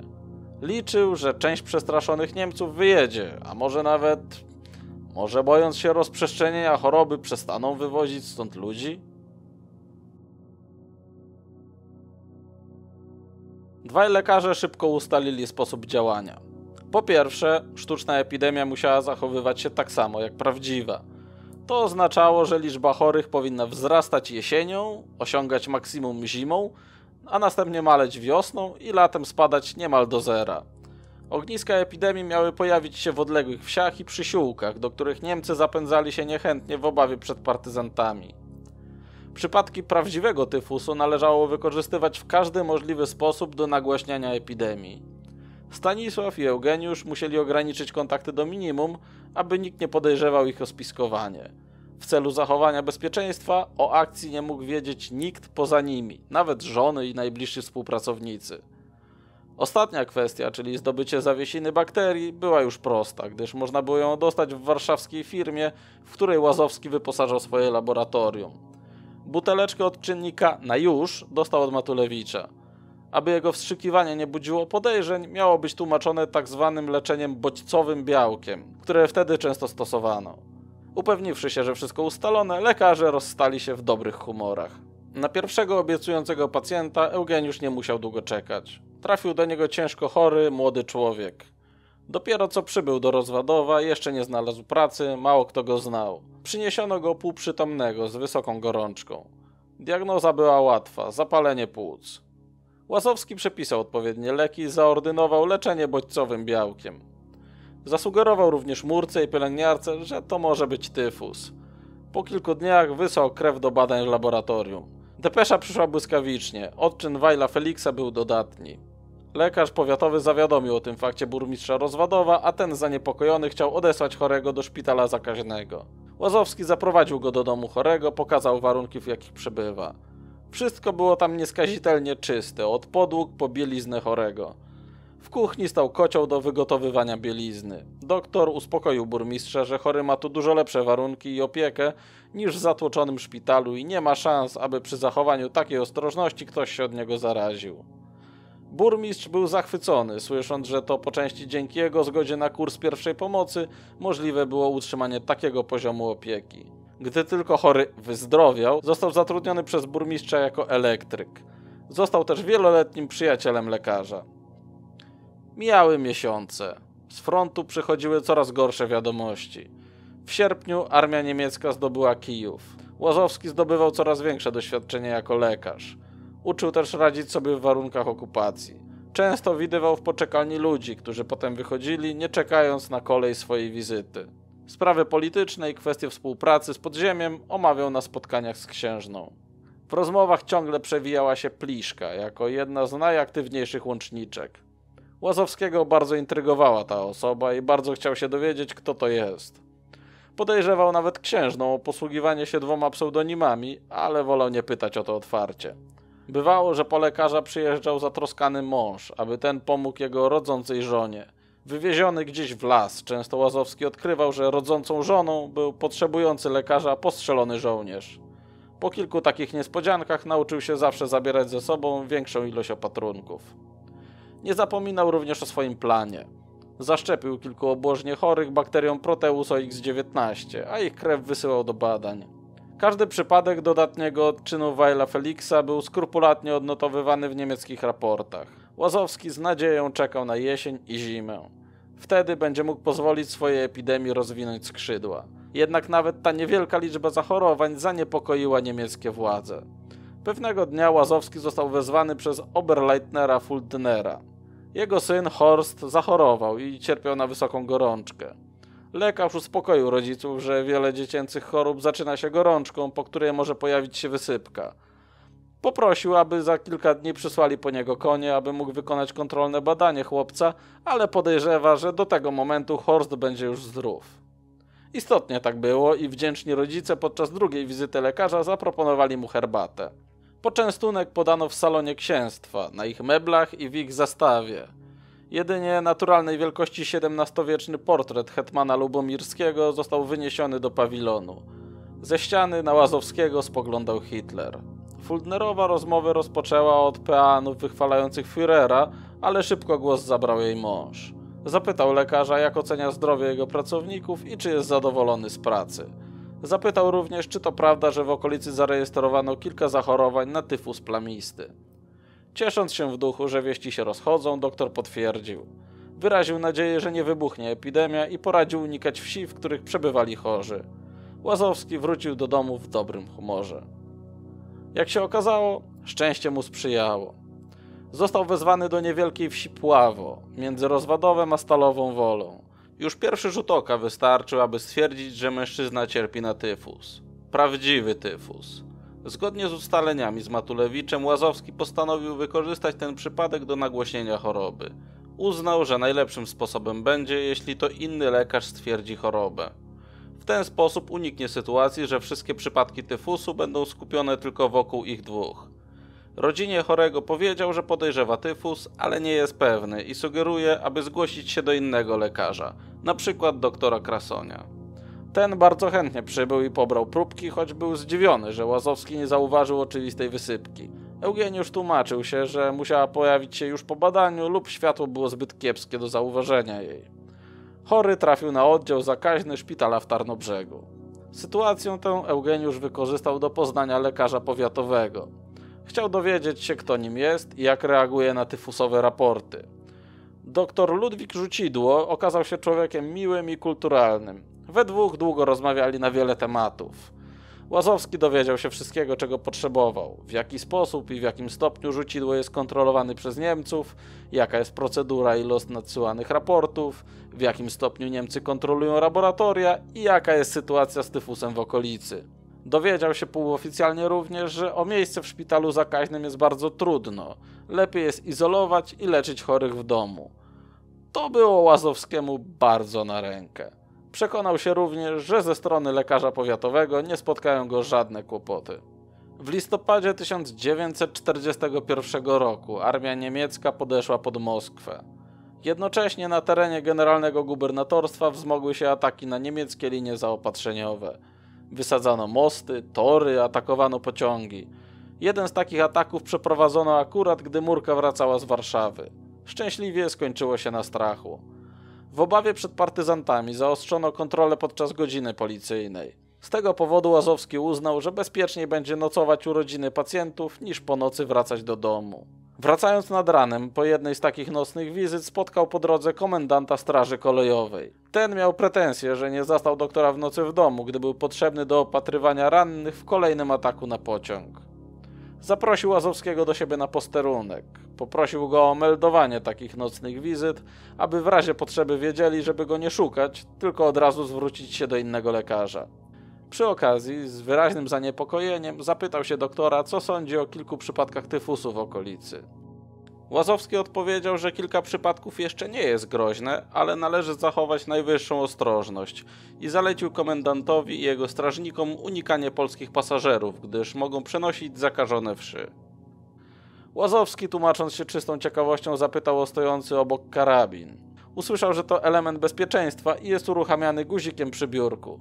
Przy okazji kapitan pochwalił się strzegącymi go psami. Po powrocie do gabinetu Eugeniusz podzielił się informacjami o systemie bezpieczeństwa Biura Straży Kolejowej pierwszemu człowiekowi od Kruka, jaki przyszedł z wizytą. Przyszedł czas, aby Łazowski spotkał się z Matulewiczem. Podzielił się sukcesami i spostrzeżeniami, że Niemcy już teraz się boją, mimo zaledwie kilku zachorowań. Również Matulewicz miał przypadek prawdziwego tyfusu, który rozgłosił jak się dało. Udało mu się nawet chorego umieścić w szpitalu zakaźnym. Przekazał również koledze kilka buteleczek zawiesiny Proteusa o X19, dość aby wystarczyło do wiosny. Było to o tyle ważne, że nadchodziła zima, czas, w którym zgodnie z planem zachorowalność miała być największa.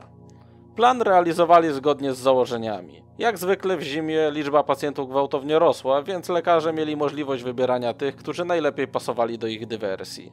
Każdy zaszczepiony proteusem pacjent, którego krew wysłali do urzędowego laboratorium, stawał się dla Niemców elementem ich statystyki epidemiologicznej i jednocześnie zarejestrowanym przypadkiem groźnej choroby zakaźnej. Ze wzrostem liczby takich przypadków rosła groźba niemieckiej kontroli. Na wypadek takowej Łazowski przygotowywał skrupulatnie opisane historie choroby tych pacjentów, aby móc udowodnić diagnozę i leczenie. Jeśli chodzi o rodziny chorych, pobieranie krwi do badań nikogo nie dziwiło. Wręcz przeciwnie, zwiększało zaufanie do lekarza, który z taką pasją starał się wykryć, co dolegało cierpiącym. Od zaszczepienia proteusem do otrzymania wyników oficjalnych badań mijało kilka, kilkanaście dni. W tym czasie chory zwykle już dawno wrócił do zdrowia i nikogo za bardzo nie interesowało, czy był to w końcu tyfus, czy nie. Jeżeli ktoś z rodziny jednak dopytywał, w odpowiedzi słyszał, że faktycznie tyfus, choć na szczęście o bardzo łagodnym przebiegu. Zimą zdarzyło się również kilka przypadków prawdziwego tyfusu. Zostały rozpowszechnione lub podesłane innym lekarzom, tak jak poprzednie. Wraz z nimi pojawiło się jednak realne zagrożenie zarażenia. Łazowski postanowił zdobyć szczepionkę. Było to o tyle trudne, że była ona przeznaczona tylko dla Niemców. Mimo to doktor liczył, że uda mu się zdobyć przy okazji najbliższej wizyty w stolicy. Tymczasem sytuacja na świecie zaogniała się. 7 grudnia 1941 roku Japonia atakiem na Pearl Harbor rozpoczęła wojnę ze Stanami Zjednoczonymi. Cztery dni później Trzecia Rzesza wypowiedziała wojnę USA. Mniej więcej w tym samym czasie załamała się niemiecka ofensywa pod Moskwą. Mit o niezwyciężonej niemieckiej armii prysł. Rosjanie rozpoczęli kontrofensywę. Na wiosnę wraz z nastaniem ciepła nasiliły się akcje sabotażowe przeciwko Niemcom. W odpowiedzi na historię o klęskach niemieckich wojsk w okolicy pojawiły się oddziały sowieckich partyzantów i bandy zdeterminowanych i gotowych na wszystko niemieckich dezerterów. W siłę rosły też oddziały polskiego wojska podziemnego. Niemieckie władze starały się reagować na wszystkie ataki. Wyraźnie pogorszyła się też sytuacja Żydów. W Rozwadowie zaczęto wyłapywać młodych i silnych i wywozić ich do pracy przy budowie obozu śmierci w Pustkowie. W Mielcu dużą grupę Żydów rozstrzelano za rzekomy komunizm.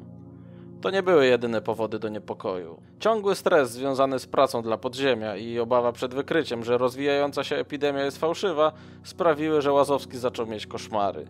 Zdarzało mu się budzić z krzykiem. Najwyraźniej jego żona też odczuwała strach. Eugeniusz zauważył, że zaczęła bardzo często chodzić do kościoła. Porażki na odległym froncie nie wpłynęły zupełnie na zuchwałość Niemców. Na jednym ze spotkań książę Lubomirski poskarżył się, że otrzymał list z banku w Wiedniu.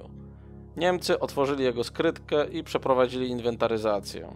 Znaleźli tam zdeponowane jeszcze przed I wojną światową skarby rodzinne. Diamentowe kolie i diademy, sznury pereł, złote naszyjniki i bransolety, brosze, pierścienie i szereg innych wartościowych rzeczy. Lista była bardzo długa. Do niej dołączony był list, w którym proszą, aby swoim podpisem uprawomocnił przekazanie tego skarbu rządowi hitlerowskich Niemiec. Wściekły książę list zignorował.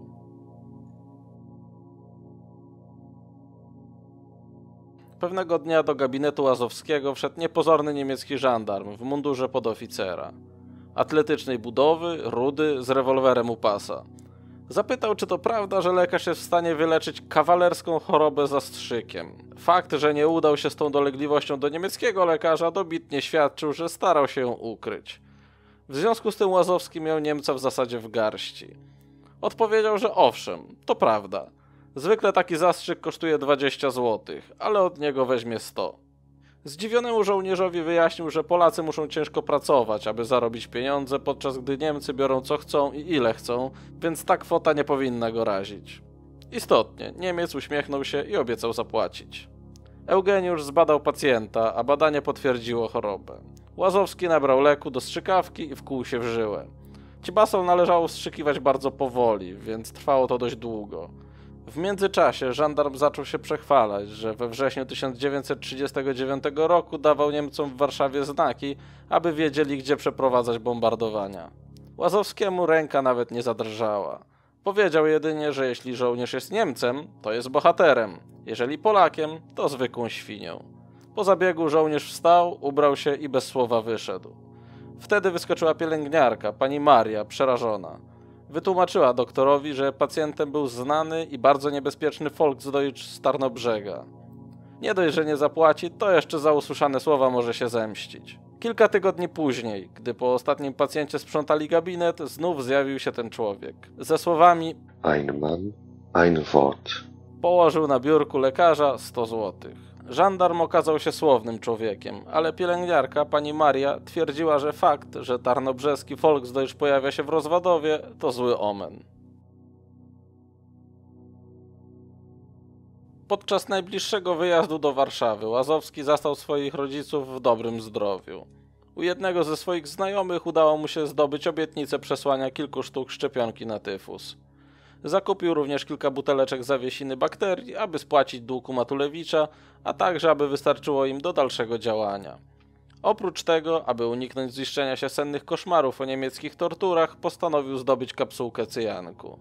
W przypadku wykrycia podstępu przez Niemców lepsze wydawało się kilka sekund cierpienia niż wielogodzinne przesłuchania wypełnione torturami i katowaniem.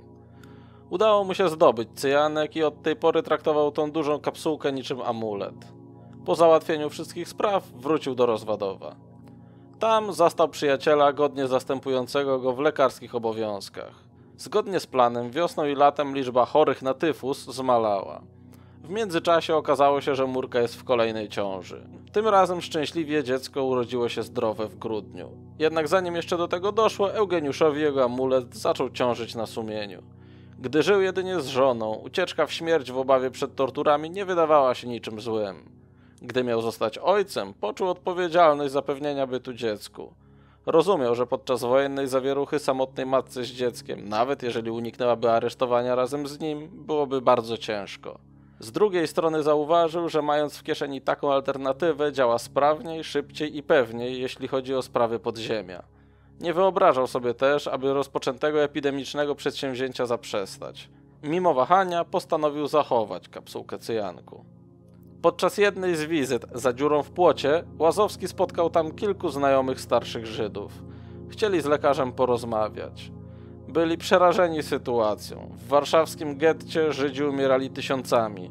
W wielu miastach Niemcy przeprowadzali pogromy. Żydzi byli wywożeni wagonami w nieznanym kierunku całymi masami. Słyszeli o pociągach do Bełżca, skąd nikt nie wracał. Chcieli wiedzieć, co ich czeka. W Lasku Młodyń powstał obóz koncentracyjny dla Żydów, którzy codziennie pod strażą chodzili do ciężkiej pracy w hucie. Lekarz niewiele mógł doradzić. Niewiele wcześniej jeden ze strażników kolejowych pokazał mu bydlęce wagony stojące na bocznicy. Wszystkie szczeliny były wypchane podartymi dolarami, funtami, markami i holenderskimi guldenami. Najwyraźniej przewożone nimi osoby zrozumiały w pewnym momencie, że nie są wiezione do miejsca nowego osiedlenia i postanowiły pozbyć się swojego majątku, aby nie wpadł on w niemieckie ręce. Jedyne co Łazowski mógł zaproponować to ukrycie się w lesie. Tam mogli liczyć na pomoc polskich partyzantów i znaleźć schronienie. Minęło kilka tygodni. 21 lipca 1942 roku do miasta zjechała żandarmeria niemiecka. Ogłoszono, że wszyscy Żydzi mają stawić się na rynku. Pozwolono im zabrać jedynie tyle rzeczy, ile są w stanie udźwignąć. Zebrał się spory tłum. Łazowscy przypatrywali się temu z zamkniętych okien. Słyszeli stłumione wrzaskliwe rozkazy niemieckich żołnierzy. Gdy ktoś wykonywał je zbyt wolno lub był zbyt słaby, aby to zrobić, strzelano do niego natychmiast. Akcją kierował były pacjent Łazowskiego, żandarm, który zwrócił się do niego o pomoc w wyleczeniu wstydliwej choroby. Wypatrywał w tłumie głowy pokryte siwizną i bez mrugnienia kierował na nie lufę rewolweru i strzelał. Kątem oka ujrzał młodą Żydówkę z dzieckiem w wózku. Podbiegł i kopnął wózek. Dziecko wypadło na bruk. Zmiażdżył jego główkę obcasem. Inni żandarmi nie pozostawali w tyle. Niektórzy, zamiast strzelać, woleli okładać starców i dzieci na śmierć kolbami karabinów. Łazowscy patrzyli na ten krwawy spektakl jak zahipnotyzowani, szepcząc jedynie w kółko wieczny odpoczynek racz im dać panie. Nie licząc strzałów i niemieckich krzyków, na placu panowała cisza. Nie było słychać jęków, płaczów czy narzekań. Nie było żadnego odruchu samoobrony. Ci, którzy przeżyli, szli jak w transie w kierunku stacji kolejowej. Gdy plac opustoszał, nadjechały wozy. Kilku młodszym Żydom nakazano wrzucić na nie ciała zabitych. Gdy wozy odjechały, w rozwadowie zaległa całkowita cisza. Przerywały ją tylko odgłosy pojedynczych strzałów. To Niemcy chodzili po domach i mordowali tych, którzy nie chcieli zjawić się na rynku, byli zbyt słabi lub chorzy, albo się ukryli. Ostatni strzał padł sąsiadów Łazowskiego. Patriarcha, głowa rodziny, zbyt stary i schorowany, został zastrzelony we własnym łóżku. Z biuletynów konspiracyjnego nasłuchu radia i prasy oraz głównie od księdza Pataczały łazowcy mieli dostęp do wiadomości ze świata. Zarówno złych, o dalszych aresztowaniach i egzekucjach, coraz bardziej drastycznej eksterminacji Żydów, w warszawskim getcie ginęło ich nawet 10 tysięcy dziennie, jak i dobrych, o tym, że wielka bitwa o Stalingrad nie idzie po myśli Niemców oraz że alianci zwyciężają w Afryce. Wśród Polaków rosło przeświadczenie o nieuchronnej przegranej okupanta. Rosła chęć walki. Łazowski z Matulewiczem uznali, że nabrali już doświadczenia z fałszywym tyfusem i doszli do porozumienia, że zimą 1942-1943 zaszczepią proteusem dużo więcej osób i wywołają epidemię na szeroką skalę. Zabijanie ludzi, nawet zbrodniarzy, nie licowało według nich z honorem lekarza. Nie mogli więc dołączyć do partyzantów i chwycić za karabin. Mogli jednak dołączyć do walki z okupantem na swój sposób. Sztuczna epidemia miała przestraszyć Niemców nie na żarty, zaburzyć legendarny niemiecki porządek. Zanim jednak nadszedł odpowiedni czas, Eugeniusz poświęcał się, oprócz leczenia pacjentów oczywiście, działalności konspiracyjnej. Poznał księdza Franciszka Lądowicza, pseudonim Kalina. Był on kapelanem świeżo utworzonego w Lasach Janowskich oddziału partyzanckiego Wojska Polskiego pod dowództwem ojca Jana. Obowiązkiem Łazowskiego było zaopatrywanie oddziału w lekarstwa i opatrunki przez ogrodnika Ligenschaftu Charzewice, pana Woźniaka, który dostarczał oddziałowi żywność. Z Woźniakiem współpracowała również Sowa, czyli księżna Lubomirska i Pliszka. Nowe powiązania sprawiły, że Łazowski miał pełne ręce roboty. Bywał budzony nawet w środku nocy i wysyłany często w odległe miejsca bez słowa wyjaśnienia. Na przykład jednej nocy ksiądz Pataczała zapukał w okno i nakazał lekarzowi udać się w pobliże Brodu na Sanie. Tam ujrzał na środku rzeki wóz zaprzęgnięty w konie, który ugrzązł w miękkim dnie na dobre. Nagle z krzaków wyłoniło się kilkanaście postaci i dopadło wozu. Wspólnymi siłami wypchnęli go z rzeki i zniknęli w ciemności. Jak się okazało, jedynym zadaniem Łazowskiego było bycie w pobliżu i medyczne zabezpieczenie akcji przerzutu ładunku przez rzekę. Mimo uprzywilejowanego stanowiska w Rozwadowie, Łazowski nie mógł czuć się bezpiecznie. I nawet nie chodziło o to, co by się stało, gdyby jego działalność konspiracyjna się wydała. Niemcy byli panami życia i śmierci i życie wielu Polaków zależało od ich kaprysu. Murka była w dziewiątym miesiącu ciąży, gdy w biały dzień z knajpy tylko dla Niemców wytoczyło się dwóch kompletnie pijanych żołnierzy. Zauważyli Łazowskiego z żoną i żartując, że mają okazję zabić dwójkę Polaków jedną kulą, sięgnęli po broń. Murka w swoim stanie nie mogła biegać, ale ile sił rzuciła się z mężem do ucieczki. Nie odbiegli daleko, gdy padł pierwszy strzał.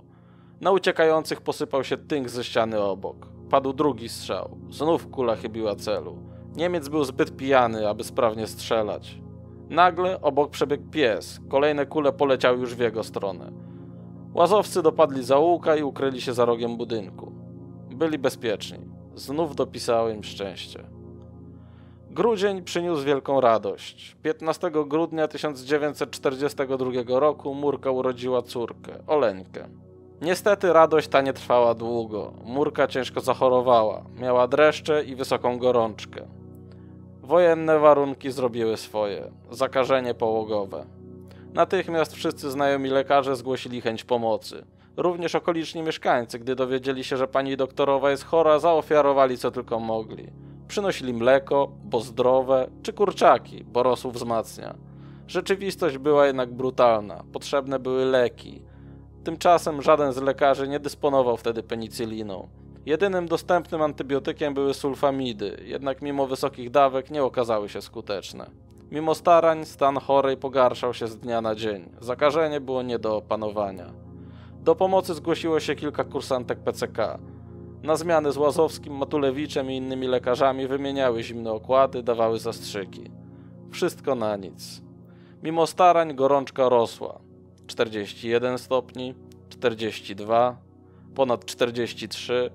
Na termometrze skończyła się skala, a szklana rurka wypełniła się w całości rtęcią. Murka traciła przytomność, serce jej waliło jak młot, majaczyła. Ze zbitek losowych słów można było wywnioskować, że ma koszmary o oblężeniu Warszawy. Gdy miała przebłyski świadomości, prosiła, aby przynieść jej córkę. Szczęśliwym trafem dziecko było bardzo spokojne, głównie spało. Eugeniusz mógł skupić się na ratowaniu żony. Gdy Murka odzyskiwała przytomność, widać było, że rozumie w jakim jest stanie. Poprosiła o księdza, pożegnała się z matką i mężem. Któregoś dnia, gdy z mężem była sam na sam, przywołała go słabym gestem. Eugeniusz nachylił się nad nią i usłyszał ciche słowa. Pliszka, to ja. Zrzucenie z serca tej tajemnicy musiało mieć jakiś cudowny wpływ, bo stan chorej po trzech tygodniach zaczął się w końcu poprawiać. Powoli odzyskiwała siły. Okazało się, że choć Eugeniusz nic nie wiedział o konspiracyjnych powiązaniach żony, ona od początku wiedziała, że Leszcz to on. Nie mogła jednak wiedzieć o epidemicznych planach męża. Gdy doszła do siebie, Łazowski mógł wrócić do zaniedbanego w ostatnim czasie planu. Przy okazji zastanawiając się, jak odwdzięczyć się wszystkim dobrym ludziom, którzy pomogli im w potrzebie. Jesienią, przed chorobą żony, Eugeniusz rozpoczął szczepienie ludzi bakterią Proteus OX-19 i przesyłanie próbek do laboratorium. Po kilku tygodniach, gdy Murka doszła do siebie, wrócił do pracy ze zdwojoną siłą. Działał tak gorliwie, że statystyki zachorowań na tyfus przekroczyły normy. Kilka okolicznych gmin władze uznały za obszar objęty epidemią tyfusu plamistego. Niemcy byli przerażeni. Ruszyła urzędnicza maszyna. Okoliczne władze otrzymały rozporządzenia. Na domach chorych pojawiły się plakaty Achtung Fleckfieber, a na granicach gmin i wsi tablice Achtung Seuchengebiet. W obawie przed rozprzestrzenieniem zarazy zaprzestano wywożenia ludzi do pracy w Rzeszy i do obozów koncentracyjnych. Zelżał też przymus oddawania kontyngentów. Ludzie odetchnęli i poczuli się bezpieczniej. Zadanie zostało spełnione. Łazowski, Matulewicz, każdy plakat o zarazie traktowali jak dyplom uznania za osiągnięcie celu. Satysfakcja, jaką odczuli, jest trudna do opisania. Z tej okazji lekarze pogratulowali sobie i wypili podchorążackiego kielicha. Gdyby nie odkrycie Matulewicza, nie byłoby to możliwe. Niemcy miotali się, nie wiedząc za bardzo co robić. Polacy bali się choroby, ale sumarycznie odetchnęli z ulgą. Pierwsza poważna bitwa w prywatnej wojnie została wygrana przez lekarzy. Tylko oni wiedzieli, że żadnej epidemii tyfusu nie było i nie ma. Bardzo szybko Łazowski został wezwany przez Oberleitnera Fuldynera, który był bardzo zaniepokojony epidemią. Lekarz zapewnił go, że razem z Matulewiczem mają przygotowany plan zwalczania epidemii na terenie majątków i folwarków pod zarządem Fuldnera oraz że pracują ofiarnie i zrobią wszystko, aby zarazę opanować. Poradził również, aby znacząco zwiększyć przydziały mydła dla pracowników i urzędników Ligenschaftu oraz zobowiązał się informować o kolejnych przypadkach tyfusu. Do Eugeniusza zadzwonił również naczelny lekarz Hermann Göring Werke w Stalowej Woli. Nakazał natychmiast meldować o zachorowaniach wśród pracowników huty. Łazowski natychmiast poinformował Matulewicza, że powinni unikać szczepienia proteusem pracowników huty, aby uniknąć sytuacji, w której dr Herbold postanowił powtórzyć badanie diagnostyczne. Wprawdzie wyniki badań pochodziły z niemieckich laboratoriów, ale nie można było wykluczyć, że niemiecki lekarz sam zacznie dokładnie badać podlegających mu pracowników. Zgodnie z planem, apogeum fałszywych zachorowań miało miejsce zimą. Na wiosnę lekarze powoli zmniejszali ilość szczepionych osób. Wciąż jednak obszar był uznany za objęty epidemią. W Stalowej Woli i okolicach żyło się względnie spokojnie. Tymczasem w kraju okrucieństwo Niemców wobec Żydów sięgnęło szczytu. W warszawskim getcie byli mordowani tysiącami na miejscu lub wywożeni masowo do obozów śmierci. 19 kwietnia zdesperowani Żydzi chwycili za broń. Po trzech tygodniach powstanie upadło, zginęli prawie wszyscy. Tuż przed powstaniem w getcie niemieckie gazety zaczęły rozpowszechniać artykuły, w których powtarzało się słowo Katyń. Tam Niemcy odkryli masowe groby polskich oficerów internowanych po 17 września 1939 roku. Ekshumowano około 4500 zwłok, każde z raną postrzałową z tyłu głowy. Zbrodni tej dokonali Rosjanie. Była to pierwsza informacja w prasie okupanta, w którą uwierzyli wszyscy Polacy. Zaprzeczali jej tylko komuniści. Opublikowano listy nazwisk zastrzelonych oficerów. Do Eugeniusza dotarło, że dwukrotnie uniknął śmierci. Raz, gdy koledzy uniemożliwili mu zgłoszenie się, gdy pytano o oficerów, a drugi raz, gdy wyskoczył z pociągu. Zarówno on, jak i Murka na listach znaleźli znane im nazwiska. Pacjenci ubezpieczalni społecznej PCK i dóbr Liegenschaftu zwykle otrzymywali leki w pobliskiej aptece na podstawie recept wystawianych przez Łazowskiego, a zatwierdzanych w biurze. W tym samym ambulatorium znajdowała się jedynie podręczna apteczka z zapasem leków i opatrunków pierwszej pomocy, zaopatrywana przez PCK i centralę ubezpieczalni. Zasoby tych leków były skromne, a potrzebujących wielu, głównie dlatego, że oprócz legalnych pacjentów ciągle przybywało nielegalnych. Do tych ostatnich należeli ludzie, którzy musieli ukrywać się przed władzami, żołnierze podziemia i do niedawna Żydzi. oddział ojca Jana urósł do 200 żołnierzy, a wszyscy oni potrzebowali leków i opatrunków. Apteczka nabierała więc znaczenia. Księżna Anna Lubomirska potrafiła o jej zawartość zabiegać w centrali PCK i gdzie tylko było można. Nie było to łatwe zadanie, gdyż produkcja i dystrybucja leków była przeznaczona głównie dla niemieckiej armii i administracji. A niemieckie armie, znajdując się w coraz cięższym położeniu, potrzebowały coraz większych ilości medykamentów. Aby usprawiedliwić coraz mniejsze przydziały dla Polaków, niemieckie władze wydały instrukcję opisującą nowoczesną metodę leczenia, którą nazwano metodą otwartego leczenia. Według niej ran nie należało przykrywać opatrunkami, aby muchy mogły złożyć w otwartych ranach jaja. Wylęgnięte z nich larwy, żywiąc się ropą i bakteriami, miały oczyszczać ranę. Dziwnym trafem okupant nie chciał stosować tej metody w stosunku do swoich żołnierzy. W sytuacji takich niedoborów kluczowe stało się ukrycie dużego zużycia środków medycznych. Łazowski prowadził swoją podwójną buchalterię. Założył sobie takie skomplikowanie gospodarki inwentarza, aby w razie kontroli łatwiej było ukryć braki.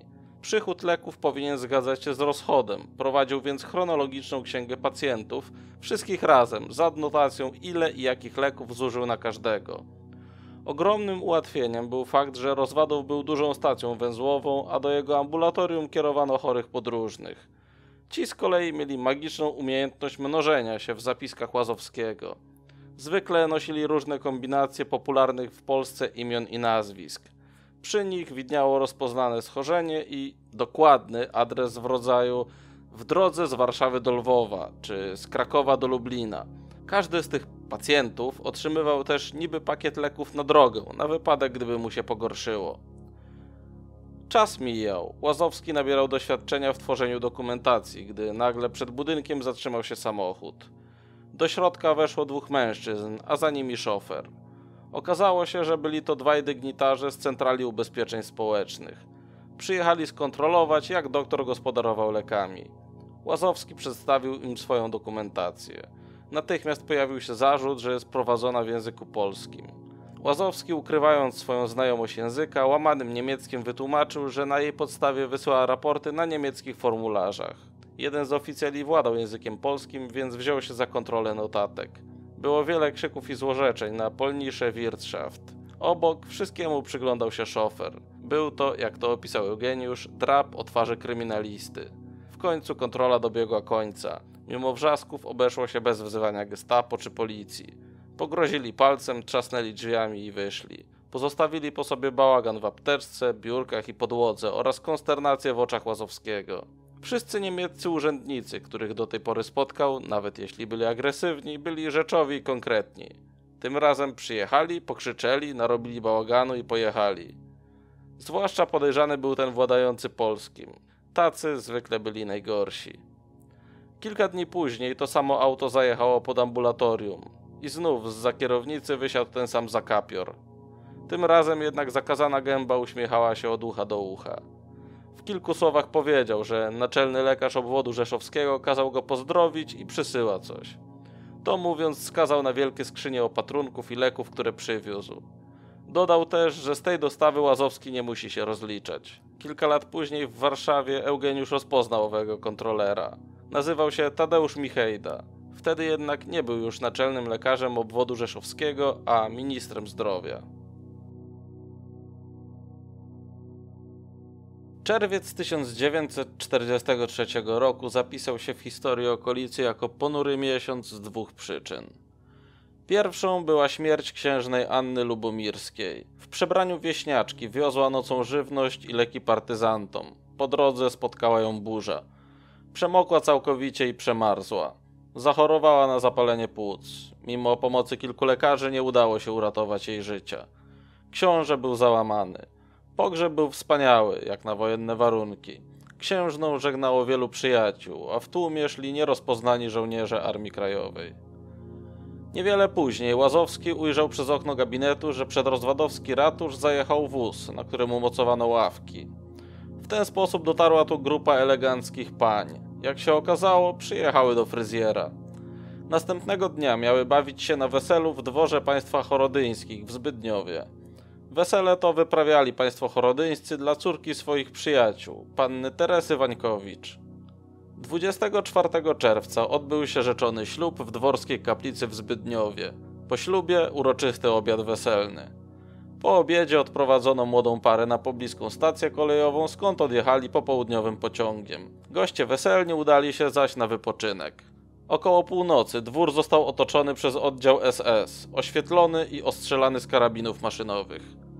Żołnierze wdarli się do środka. Będący wewnątrz stawili opór, strzelając z rewolwerów, ale wobec przytłaczającej przewagi Niemców nie mogli wiele zdziałać. Zginęli wszyscy. Dziedzic majątku Zbigniew Chorodyński, jego żona Zofia, jej siostra Maria, 14-letnia córka Chorodyńskich Anna, jej guwernantka Rozalia Kowerska, a także żona brata pani Chorodyńskiej Krystyna Giecewicz i jej 12-letni syn Lolek. Zabito również rodziców panny młodej, senatora Rzeczpospolitej Stanisława Wańkowicza i jego żonę Aleksandrę. Oprócz tego życie straciło sześcioro gości weselnych oraz czworo osób ze służby. Łącznie tej nocy Niemcy zastrzelili 19 osób, w tym dwoje dzieci. Wywleczono ich za włosy lub nogi i zakopano pod płotem w kącie parku. Dzięki panu Woźniakowi, pracującemu dla Oberleitnera Fuldnera, szybko odkryto, kto stał za masakrą. Niemcy z lubością przejmowali majątki, które nie wyrabiały norm narzuconych przez władze. Zbigniew Chorodyński był jednak doskonałym gospodarzem. Produkcja dóbr w jego majątku znacznie przekraczała wymagania, więc jego majątek formalnie nie podlegał konfiskacie. Było to jednak solą wokół Martina Fuldnera. Zarządzał on już Baranowem, Józefowem, Dzierdziówką i Zaleszanami. W centrum tego sporego obszaru leżał Zbydniów. W dodatku Fuldner był amatorem staroci i podczas jednej z wizyt u Chorodyńskich bardzo spodobał mu się ich porcelanowy serwis. Gospodarz jednak odmówił oddania i sprzedaży. Na jeden z obiadów Fuldner zaprosił oficerów jednostki SS zakwaterowanych w Zbydniowie. Ci, wysłuchawszy o sprawie, stwierdzili, że to się da załatwić. Wiadomość o masowym morderstwie dotarła do Rady Głównej Opiekuńczej. Była to polska organizacja charytatywno-społeczna, której pozwolono działać na terenie okupowanej Polski. Przesłała ona do rządu generalnego gubernatorstwa raport o zajściu w Zbydniowie. Podobno sprawa oparła się aż o rząd gubernatorstwa. Jak się jednak można było spodziewać, winni nie zostali ukarani. Działali oni wszak według wytycznych Hitlera. Zniszczenie Polski było najważniejsze. W raporcie tym w wykazie zamordowanych wymieniono synów Zbigniewa Chorodyńskiego, Andrzeja i Zbigniewa. Był to błąd. Ich matce udało się ich ukryć w skrytce na strychu. Podczas strzelaniny zostali postrzeleni, ale przeżyli. Spędzili w ciasnym ukryciu trzy dni. Później znaleźli schronienie w leśniczówce w Kotowej Woli. Ich starszy brat feralnego dnia przebywał w Warszawie. Zbrodnia zbydniowska wstrząsnęła wszystkimi. Łazowskiego znów zaczęły nawiedzać koszmary. Jego przyjaciel Stanisław Matulewicz postanowił wraz z rodziną wyjechać ze Zbydniowa. Eugeniusz został na epidemicznym polu walki sam. Mimo to nie porzucił planów. Zaraza musiała trwać nadal. Choć informacja o rzezi w zbydniowskim dworze była druzgocąca, ludzie słuchając informacji ze świata zaczęli nabierać otuchy. Amerykanie bombardowali Niemcy, zajmowali Włochy. Wśród Niemców widać było zdenerwowanie. W Hucie nasilały się akcje sabotażowe. Być może z tego powodu we wrześniu 1943 roku z Mielca do Stalowej Woli przeniesiono Rudolfa Zimmermana. Rudolf Zimmerman urodził się i wychował w Polsce. Maturę zdał w Mielcu. Gdy Niemcy wkroczyli do Polski, zgłosił się do pracy w Gestapo. Natychmiast wydał w ich ręce swoich kolegów i koleżanki, których uważał za polskich patriotów. Skupił się zwłaszcza na tych, którzy na początku okupacji zaczęli się organizować przeciw Niemcom. Wielu z nich podobno zabił osobiście. Był szczególnie niebezpieczny, bo znał polski język i zwyczaje. Gdy Zimmerman przyjechał do Stalowej Woli, zgłosił się do Fuldnera, a ten powiedział mu, którym z jego pracowników może ufać. Jednym z poleconych był ogrodnik, wspomniany już wcześniej pan Woźniak. Zimmerman zaczął odwiedzać Woźniaka, o czym ten od razu poinformował władze Armii Krajowej. Otrzymał polecenie zdobycia zaufania Zimmermana i informowania AK o wszystkim, czego się od niego dowiedział. Informacje te szybko okazały się bardzo istotne. Był 13 października 1943 roku. Pani Fuldner wyjechała do miasta. Szykowała się na przyjęcie gościa, wysokiej rangi dygnitarza z Krakowa, pana Webera. Fuldner i Weber rozmawiali w salonie o interesach. Obok, pod opieką niani, bawił się sześcioletni Horst. Około trzeciej po południu przez bramę przejechała bryczka z dwoma oficerami w niemieckich mundurach. Weszli do salonu, wyciągnęli broń. Fuldner i Weber z początku uznali to za niesmaczny żart, ale szybko zrozumieli powagę sytuacji i wykonali rozkaz położenia się na ziemi. Oficer po niemiecku wyjaśnił Weberowi, że nie przyszli tu zabijać Niemców, a wykonać wyrok sądu podziemnego Rzeczypospolitej Polskiej. Za zaplanowanie zbrodni w Zbydniowie zastrzelili Martina Fuldnera i jego sześcioletniego syna. Niania i pan Weber pozostali przy życiu. Pani Fuldner zginęła tuż po przybyciu z miasta. Jak się okazało, jednym z egzekutorów był Zbigniew Chorodyński junior, syn zamordowanego w Zbydniowie dziedzica. Niemieccy śledczy badający sprawę śmierci Fuldnera doszli do wniosku, że była ona przygotowana tak dobrze, że nie mogło stać za nią polskie podziemie. Stwierdzono, że była to sprawka wywiadu brytyjskiego. Nie oznacza to, że niemieckie władze nie wyciągnęły konsekwencji z tego powodu. 20 października 1943 roku w Charzewicach zostało rozstrzelanych 22 mężczyzn i 3 kobiety w odwecie za śmierć Fuldnera. Świadkowie egzekucji, pan Woźniak i Kowal, pan Kłopocki, zasadzili później w tym miejscu dwa dęby. Z kolei za akcję polskiej partyzantki we Wrzawach, gdzie zlikwidowano niemiecki posterunek, Niemcy na rozwadowskim cmentarzu rozstrzelali 65 osób. W obawie o życie, kto mógł, nie nocował w Rozwadowie. Łazowski wraz z rodziną znalazł schronienie u teściowej w Stalowej Woli. Do Łazowskich zaczęły docierać niepokojące informacje z okolic Zamościa. Zupełnie nie przejmując się wojennymi porażkami, Niemcy planowali zbudować wielkie, nowoczesne miasto przeznaczone tylko dla Niemców. Zamość przemianowano na Himmlerstadt. Z przeszło 300 wsi wysiedlono ponad 100 tysięcy ludzi. Większość mężczyzn i kobiet wywieziono do Rzeszy do pracy. Opornych, starych i chorych zabijano na miejscu lub wywożono do obozów śmierci. Dzieci zaś poddano selekcji. Dzieci przejawiające cechy faworyzowanej rasy aryjskiej były wywożone do Niemiec. Oddawano je w opiekę niemieckim rodzinom, które miały wychować je na wzorowych niemieckich obywateli. Zniemczano im imiona, starano się wyplenić wspomnienia o Polsce, wpoić miłość do Niemiec. Dzieci, które zakwalifikowano do słowiańskiej podrasy, trafiały do obozów śmierci. Eugeniusza opanował strach o ich dziecko. Co by się stało, gdyby Niemcy wpadli na podobny pomysł na stalowowolskiej ziemi? Co by się stało, gdyby Oleńka została porwana przez Niemców albo zaginęła podczas wojennej zawieruchy? Doktor postanowił w jakiś sposób naznaczyć swoje dziecko w nadziei, że ułatwi to jakoś jej odnalezienie, identyfikację. Jak jednak oznaczyć trwale malutkie dziecko, nie oszpecając go na resztę życia? Po długim namyśle, odrzuciwszy wiele sposobów, które uznał za barbarzyńskie, pozostał mu jeden. Zaszczepił Oleńkę na ospę. Zamiast zrobić to na ramieniu, jak zwykle robiono, zrobił to na kostce lewej nóżki. Ta charakterystyczna blizna powinna pomóc mu odszukać w razie potrzeby córkę.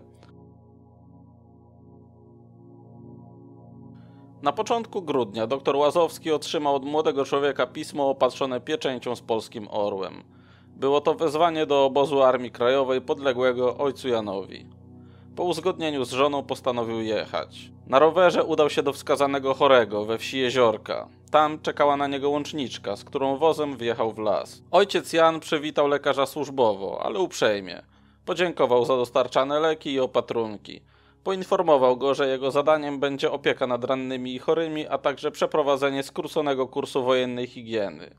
Łazowskiego zaskoczył fakt, że w tak doświadczonym w walkach z Niemcami oddziale jest tak niewielu rannych. Okazało się, że ci najbardziej poszkodowani są rozlokowani po okolicznych wsiach u zaufanych ludzi. Łazowski zapoznał się z żołnierzami z obozu, porozmawiał z nimi. W namiocie ojca Jana poznał Tadeusza, czyli Kazimierza Mireckiego. Obóz był dość prymitywny, było to niezbędne w partyzanckiej rzeczywistości. Musiał być gotowy do natychmiastowego przeniesienia w inne miejsce. Przenosiny takie odbywały się dość często, więc musiał być dobrze zorganizowany. Oddział podzielony był na plutony, z których każdy miał swój podobóz. Wywiadowcy rezydowali w okolicznych wsiach, gotowi w każdej chwili, by poinformować o przybyciu Niemców. Żywność i niezbędne materiały kupowano po wsiach, za pieniądze lub zdobyczne fanty, noże, scyzoryki, narzędzia, koce, derki czy buty. Kraść starano się jedynie z ligenschaftów, nadzorowanych przez okupanta. Łazowski wygłosił swój wykład. Opowiedział o możliwościach leczenia u zaufanych ludzi, o tym jak można legalnie skierować chorego do szpitala, ukrywając jego tożsamość, a także o operacjach dokonywanych w polowych warunkach. Następnie poruszył temat pierwszej pomocy, zakładania opatrunków, czy ze względu na porę roku zapobieganiu odmrożeń. Z higieny ogólnej, jak zapobiegać chorobom zakaźnym. Ostrzegł o niebezpieczeństwie związanym z wszami i opowiedział o roli wszy w przenoszeniu tyfusu plamistego. Nie mógł przyznać, że epidemia, której się tak wszyscy boją, jest fałszywa. Korzystając jednak z obawy przed chorobą, chciał nakłonić żołnierzy do dbania o higienę. Wybuch epidemii prawdziwego tyfusu w polskim obozie byłby bardzo nie na rękę walczącym o wolność. Po wypełnieniu obowiązków Łazowski zameldował się u ojca Jana. Długo rozmawiali. Następnego dnia przewodnik odstawił go do miejsca, gdzie odnalazł swój rower i mógł wracać do domu. Był już za elektrownią OZ, gdy od strony Stalowej Woli minął go duży wojskowy konwój. Zakryte budy i transportowe samochody obsadzone żandarmami w hełmach i pełnym uzbrojeniu. Minęli go nie zwracając na niego uwagi. Nieco dalej natknął się na zmotoryzowany oddział wojska. Dla bezpieczeństwa wolał ominąć go boczną ścieżką. Niemcy zajęci wyskakiwaniem z ciężarówek i ustawianiem się w szeregu zignorowali go. Łazowski dojechał do Rozwadowa bez przeszkód. Kolejnego dnia dowiedział się, co to był za konwój.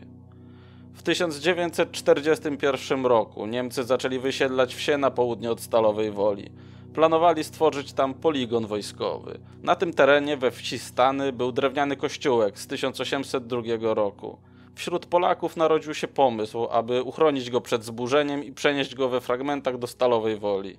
Dzięki staraniom księdza Józefa Skoczyńskiego udało się to. Przedsięwzięcie to jednak nie mogłoby zakończyć się sukcesem bez aprobaty, a nawet pomocy władz niemieckich. W żadnym wypadku nie była to jednak pomoc bezinteresowna. Ówczesny dyrektor zakładów południowych Niemiec Scholze nie kierował się sympatią do Polaków. Wiadomo było, że komuniści walczą z religią i ocalenie kościółka miało być elementem walki z komunizmem. Pomoc w całym przedsięwzięciu zadeklarowało całe stalowowolskie społeczeństwo. Scholze przydzielił ciężarówki zakładów na transport części rozebranego kościoła. 12 grudnia 1943 roku ludzie ze wzruszeniem czekali na otwarcie nowego kościoła. Niemcy, nie omieszkując wykorzystać tej okazji w celach propagandowych, zaprosili dygnitarzy generalnego gubernatorstwa i ekipę filmową. Jednocześnie nie zapomnieli o terrorze. W czasie obchodów poświęcenia i pierwszej mszy świętej w lesie w pobliżu elektrowni OZ rozstrzelali 10 zakładników. To właśnie ten konwój śmierci napotkał Łazowski wracając do domu. Jednym z zakładników był znajomy Murki, Wiesław Zagoździński. Dał jej niedawno przepis na tort. Ostatnie słowa przepisu zapisane przez Murkę brzmiały upiec i zaprosić Wiesia na tort. Nie zdążył go spróbować. Pewnego dnia Łazowskiego odwiedził doktor Rzucidło, lekarz powiatowy. Wyjawił on Eugeniuszowi, że Niemcy zainteresowali się sprawą stalowowolskiej epidemii. Korzyści, jakie sprowadzała ona na okoliczną ludność, były bardzo duże. Większe przydziały żywności, mydła, brak wywózek, mniejsze represje. Jednocześnie drastycznie spadły dochody Volksdeutschów. Zaczęli więc węszyć. Epidemia wydała im się podejrzana, powodowała bardzo mało zgonów w stosunku do ilości zachorowań. Zawiadomili niemieckie władze o swoich podejrzeniach. A więc jednak, w końcu nastąpiło nieuchronne miało dojść do bezpośredniej konfrontacji lekarza i niemieckich władz. Łazowski podziękował Rzucidle za informację, starając się ukryć strach, jaki go opanował. Pierwszym pomysłem była ucieczka, ale jak to zrobić? Jeśli ucieknie sam, pochwycą Murkę i Oleńkę. Uciekać z żoną i córką? Ale gdzie? Jak? Ochłonąwszy zaczął planować na spokojnie. Skoro Niemcy nie aresztowali go od razu po donosie, znaczy, że nie są pewni jego winy. Wysyłanie krwi do laboratorium, depesze do nich i powrotne o dodatnim odczynie Wajla Felixa to nie mogło budzić żadnych podejrzeń. Co najwyżej mogli podejrzewać, że Łazowski krew jednego pacjenta rozlewa do kilku próbówek, oznacza innymi nazwiskami i tak wysyła do laboratoriów, aby zawyżyć liczbę chorych. Skoro tak, komisja lekarska najpewniej przybędzie osobiście zweryfikować tożsamość pacjentów i pobrać próbki. Mając tę wiedzę, Łazowski postanowił nie poddawać się bez walki. Porozumiał się z Krukiem. Nie mógł mu oczywiście wyjawić istoty sprawy, ale zdradził mu, że spodziewa się kontroli i czuje się zagrożony. Kruk przydzielił mu łącznika, pana Batko, nauczyciela z Pilchowa. Razem rozpoczęli przygotowania do kontroli. Gdy do Eugeniusza przyszło wezwanie do stawienia się na kontrolę we wsi Turbia, Łazowski odwiedził w okolicy wszystkich swoich zaszczepionych proteusem pacjentów. Sprawdził swoje zapiski o nich i ich stan zdrowia. Doszedł do wniosku, że najlepiej będzie, jeśli najpierw przedstawi najstarszych, najbardziej schorowanych i wychudzonych. Na wsiach na ból głowy stawiano na czole bańki. Ich efektem były czarno-sine plamy. Jako, że z takimi plamami chorzy wyglądali jeszcze gorzej, Łazowski poradził innym tą terapię. Wkrótce naznaczonych takimi śladami było wielu. Plan ustalony z panem Batko zakładał, że na samym początku kontrolerzy zostaną zaproszeni przez wójta na obfity obiad z dużą ilością wódki. Gdy tylko przyjadą, wójt będzie ich ciągnąć do siebie, a lekarz, jako kierując się pierw obowiązkami, na obchód chorych. Na początku lutego 1944 roku przyjechali. Było ich znacznie więcej niż się spodziewano. Polowe auto z oficerami i wóz transportowy z żołnierzami. Mimo to postanowiono trzymać się planu. Wójt usilnie zapraszał na obiad, a Łazowski cieszył się z przybycia komisji, jakoby zapowiedzi pomocy w walce z epidemią. Wójt ciągnął w jedną stronę, a lekarz namawiał, aby natychmiast udać się do chorych. Lekarzy było trzech, jeden wyraźnie starszy wiekiem. Po minutach ciągnących się w nieskończoność, starszy stopniem wydał rozkaz. On uda się na uroczysty obiad, a dwóch młodych lekarzy na kontrolę. Zaczął się obchód. Łazowski kilkukrotnie ostrzegał niemieckich lekarzy o niebezpieczeństwie zawszenia przy bliskim kontakcie z chorym i jego otoczeniem. Pierwszym przedstawionym pacjentem był starszy mężczyzna, świeżo po przebytym ciężkim zapaleniu płuc. Łazowski pokazał historię choroby i leczenia, a także depeszę o dodatnim odczynie Wajla Felixa. Wyraźnie przestraszeni młodzi lekarze sprawdzili tożsamość chorego i pobrali próbki. Poza tym jednak nie zrobili nic więcej. Wyraźnie chcieli jak najszybciej wyjść. Ten sam scenariusz powtórzył się w kilku innych chatach z chorymi. Niemcy pobierali tylko krew i czym prędzej wychodzili w obawie przed zarażeniem. Na zewnątrz z kolei był silny mróz, więc odwiedziwszy kilka domów wrócili do gminy, gdzie odbywało się przyjęcie. Tam zaś zabawa trwała w najlepsze. Stoły uginały się od mięsiwa, a wódka lała się strumieniami. Główny lekarz kontroli był już mocno wstawiony. Widząc, że nie bardzo mają możliwość zaraportowania, młodzi niemieccy lekarze dołączyli do zabawy. Kilkanaście dni później doktor dowiedział się, że pobrane przez niemieckich lekarzy próbki dały dodatni odczyn Weila Felixa. Niemcy mieli dowody, że epidemia jest prawdziwa. Łazowski mógł odetchnąć z ulgą. Zwyciężył w swojej prywatnej wojnie. Wojnie nie na pociski i karabiny, a na bakterie i zastrzyki. Choć, gdy doktor usłyszał o wynikach kontroli, kamień spadł mu z serca, nie mógł osiąść na laurach. Owszem, mógł być spokojniejszy o siebie i swoich pacjentów, ale wiedział, że Niemcy nie poddadzą się tak łatwo i wciąż będą węszyć. Nie mógł więc dać im powodów do podejrzeń. Epidemia nadal musiała zachowywać się jak prawdziwa. Nagły spadek zachorowań na tyfus byłby podejrzany. A to oznaczało, że do końca zimy powinno być dużo nowych chorych. Ten plan Łazowski musiał dociągnąć do końca. Był już jednak znacznie o siebie spokojniejszy. To był błąd.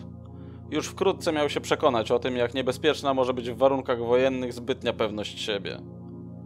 Tymczasem w mieście sytuacja zaczęła robić się nerwowa. Do Stalowej Woli od wschodu zbliżał się front. Nasiliły się działania polskich partyzantów. Oddziały Ojca Jana i Kmicica, oprócz zwykłej aktywności, zaczęły likwidować posterunki żandarmerii oraz napadać na więzienia w celu uwolnienia rodaków. Ojciec Jan skontaktował się również z dowódcą dywizji Armii Czerwonej, która dotarła w te rejony. Omówiono warunki współpracy. Jej efektem miała być wspólna akcja Sowietów i Armii Krajowej na Stalową Wolę. Atak nie doszedł do skutku. Jedynym efektem był ostrzał artyleryjski Stalowo-Wolskiej elektrowni. Nie udało się jej unieruchomić. Ba, pociski w zasadzie nie wyrządziły żadnych szkód, ale wywołały wśród Niemców, zwłaszcza cywilów, prawdziwy popłoch. Niestety, wskutek wpadki komórki AK w Hucie doszło do licznych aresztowań. 18 marca w mieście zapanowało poruszenie z powodu strzelaniny w starym rozwadowskim kinie. Niemcy odkryli tam kwaterę AK. Było tam dziewięciu żołnierzy, dwóch zginęło. Była to poważna klęska, bo znaleźli tam nie tylko broń, amunicję i materiały wybuchowe, ale i tajną dokumentację. Wielu ludzi musiało się ukryć albo uciec do oddziałów partyzanckich. Widząc koncentrację wojsk niemieckich po zachodniej stronie Sanu i zbliżający się od wschodu front, można było sądzić, że w okolicy Stalowej Woli dojdzie do ostrych walk. Łazowski był przekonany, że jego miejsce jest w Warszawie, a pod koniec wojny to stolica będzie najbezpieczniejszym miejscem. Wraz z Murką zdecydowali, że przewiozą zawczasu cały swój dobytek do rodziców Eugeniusza. Korzystając z tego, że przyjaciel planuje przewieźć swój dobytek w kierunku przeciwnym, załadowali na pustą ciężarówkę wszystko, co uważali za wartościowe, w tym sześć obrazów Taranczewskiego i bogaty zbiór znaczków pocztowych Eugeniusza. Rzeczy te bezpiecznie dotarły do mieszkania Łazowskich w Warszawie tylko po to, by niewiele później spłonąć razem z ich dobytkiem podczas powstania. Wczesną wiosną do Eugeniusza zwrócił się ksiądz Pataczała. Jego brata, działacza podziemia, aresztowało gestapo. Ksiądz chciał, aby doktor porozmawiał z Zimmermanem i w miarę możliwości wynegocjował zwolnienie aresztowanego. Łazowski kata stalowej woli poznał wcześniej w biurze woźniaka. Zimmerman pochwalił go wtedy za ofiarną walkę z epidemią tyfusu plamistego. Z tego powodu Pataczała uznał, że Eugeniusz jest człowiekiem, któremu nic nie grozi ze strony Niemców.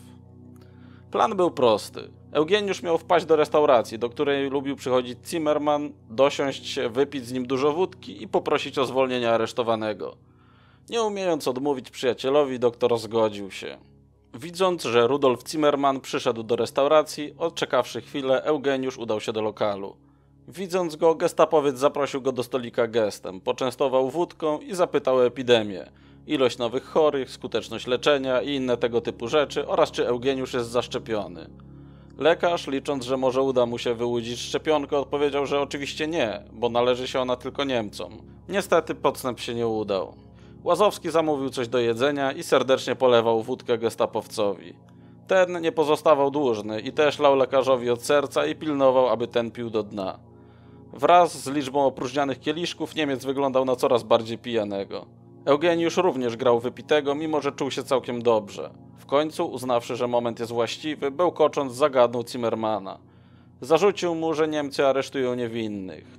Ten oczywiście zaprzeczył. Eugeniusz ciągnął dalej. Jako przykład podał brata księdza Pataczały. I wtedy zdarzyło się coś, czego Łazowski się nie spodziewał. Gestapowiec nagle spojrzał na niego oczami kogoś całkowicie trzeźwego. Doktorowi ścierpła skóra. Zimmerman powiedział bez zająknięcia, że człowiek ten ma wszystkie dokumenty fałszywe, po czym bez słowa sięgnął podruczek do kieszeni i wypełnił polecenie zwolnienia z aresztu. Podał je Łazowskiemu, rzucił po polsku do widzenia doktorze i odszedł trzeźwym krokiem, jak gdyby nigdy nic, zostawiając przy stoliku oniemiałego lekarza. Kolejna niebezpieczna przygoda miała miejsce niewiele później. Ksiądz Pataczała poinformował Łazowskiego, że przybędą do niego na noc trzej mężczyźni, którym ma udzielić schronienia. Przyszli osobno, podali hasło, dostali swój kąt. Byli głodni, więc Murka szybko przygotowała kolację. Byli sympatyczni i inteligentni, przyjemnie się z nimi rozmawiało. Staropolskim zwyczajem szybko pojawiła się na stole butelka. Przyszła noc, pora snu. Ciągle ktoś proponował kolejkę, ktoś opowiedział ciekawą historię, inny zabawny dowcip. Łazowcy dawno się tak dobrze nie bawili. Było tak wesoło, tak zwyczajnie. Może zbyt głośno. Otrzeźwiło ich łomotanie do drzwi. Trzej młodzi odskoczyli w kąty pomieszczenia, byli uzbrojeni. Łazowski podszedł do drzwi wejściowych i uchylił je. Odepchnąwszy go do pokoju wpadło trzech niemieckich żołnierzy z karabinami. Zamiast karabinowej salwy obecnie usłyszeli jedynie śmiech Murki. Z uśmiechem kazała bliższemu Niemcowi oddać karabin. Podeszła i zabrała go zbaraniałemu żołnierzowi. Odstawiła w kąt. Zdjęła mu hełm i powiesiła na krześle. Zaprosiła go do stołu. Pozostali nieśmiało dołączyli do kolegi. Zostali poczęstowani kolacją, polała się wódka. Po kilkudziesięciu minutach Niemcy wyszli w wyraźnie lepszych humorach. Kolejny raz łazowscy cudem uniknęli śmierci.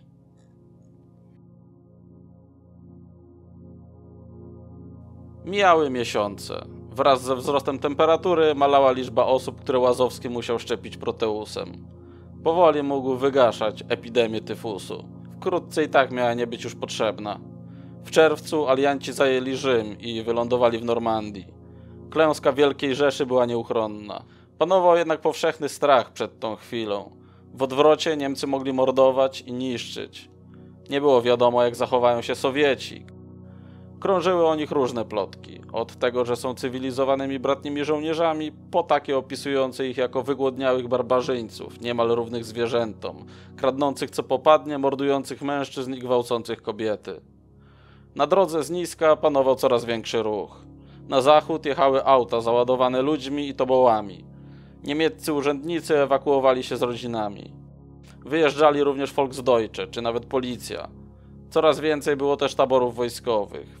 Wśród nich pojawiały się też wozy stepowych ludów centralnej Azji. Obok wozów z kobietami i dziećmi na małych konikach z komunistycznego raju uciekali skośnoocy kałmucy. Łazowski z podziwem obserwował maszerujące rozwadowskimi ulicami wielbłądy. Przetoczyli się przez rynek również kozacy, wysocy, w czarnych, szerokich pelerynach. Po noclegu na rynku odjechali czym prędzej. Rozwadowska stacja kolejowa była oblegana przez niemiecką ludność i Rosjan, którzy przeszli na ich stronę. Polacy z satysfakcją obserwowali, jak ludzie, którzy do niedawna byli gotowi wsadzić ich do bydlęcych wagonów, teraz sami gotowi są tak podróżować, byleby ktoś ich wywiózł z dala od frontu. Bójki, czasem ktoś nawet sięgnie po broń. Panika. W tych warunkach Łazowski zrozumiał, że zbyt długo zwlekał z wyjazdem. Teraz nie było już na to szans. Drogi zakorkowane, kolej przepełniona i co najgorsze, ambulatorium pełne pacjentów. Multum skaleczeń, owrzodzeń, ludzi w gorączce. Pociągi odchodziły co chwilę, wypełnione coraz bardziej nie cywilami, a regularnym wojskiem niemieckim. Po kilku dniach z Zasanu odezwała się sowiecka artyleria. Po stalowowolskiej stronie Sanu miejsce zajęła artyleria niemiecka. Lada moment miał zacząć się ostrzał. Łazowski krzątał się po gabinecie, gdy przez drzwi wpadł niemiecki żołnierz w pełnym rynsztunku. Doktor poznał go od razu. To był Volksdeutsch, który leczył się u niego na kiłę. Zdrajca, który kierował niemieckimi nalotami na stolicę. Żandarm, który później bez mrugnięcia okiem mordował Żydów. Ktoś, kogo Łazowski miał nadzieję nigdy więcej nie zobaczyć. I nagle ten odrażający człowiek kazał Łazowskiemu uciekać, bo jest na liście likwidacji przez gestapo. Doktor zaprzeczył, mówiąc, że pracował dla władz niemieckich starannie jako lekarz. Wtedy żandarm wymienił miejsce i czas, kiedy lekarz był widziany pomagający partyzantom i dodał, że Zimmerman o tym wie. Lekarz zrozumiał, że gestapo wiedziało o jego działalności konspiracyjnej, ale był im przydatny do walki z epidemią. Teraz, w obliczu zbliżającej się Armii Czerwonej, przestawał być potrzebny. Mało tego, pozostawienie epidemii samej sobie było Niemcom na rękę. Była szansa, że po zajęciu terenu przez Rosjan zacznie ona trzebić szeregi czerwonoarmistów. Rób pan co chcesz. Zawołał i odjechał. Murka w lot pojęła o co chodzi. Złapała Oleńkę i uciekła przez dziurę w płocie. Uciekli do matki Murki w Stalowej Woli. Byli względnie bezpieczni. Władze niemieckie miały dużo większe problemy niż poszukiwania zaginionego lekarza. Los bywa jednak przewrotny. W najgorszym momencie, jaki można było wymyślić, Murkę zmogła ciężka choroba. Silny ból brzucha, brzuch twardy jak deska, gorączka i szybki oddech. Wyraźne symptomy zapalenia otrzewnej. Murka potrzebowała pilnej pomocy, a jedyny chirurg w okolicy, dr Trojanowski, został aresztowany przez Niemców. Jedynym ratunkiem był szpital w Nisku, 8 km od Stalowej Woli. Dookoła grzmiała artyleria, wojenny popłoch. Nie było szans zdobyć jakiegokolwiek pojazdu. Sąsiad pani Tołwińskiej zdobył skądś krzesło na kółkach. We trójkę ze znajomymi Łazowski pchał krzesło z żoną pod prąd uciekających ludzi w akompaniamencie artylerii do szpitala. Odległe wybuchy pośpieszały podróż. Na miejscu czekało ich rozczarowanie.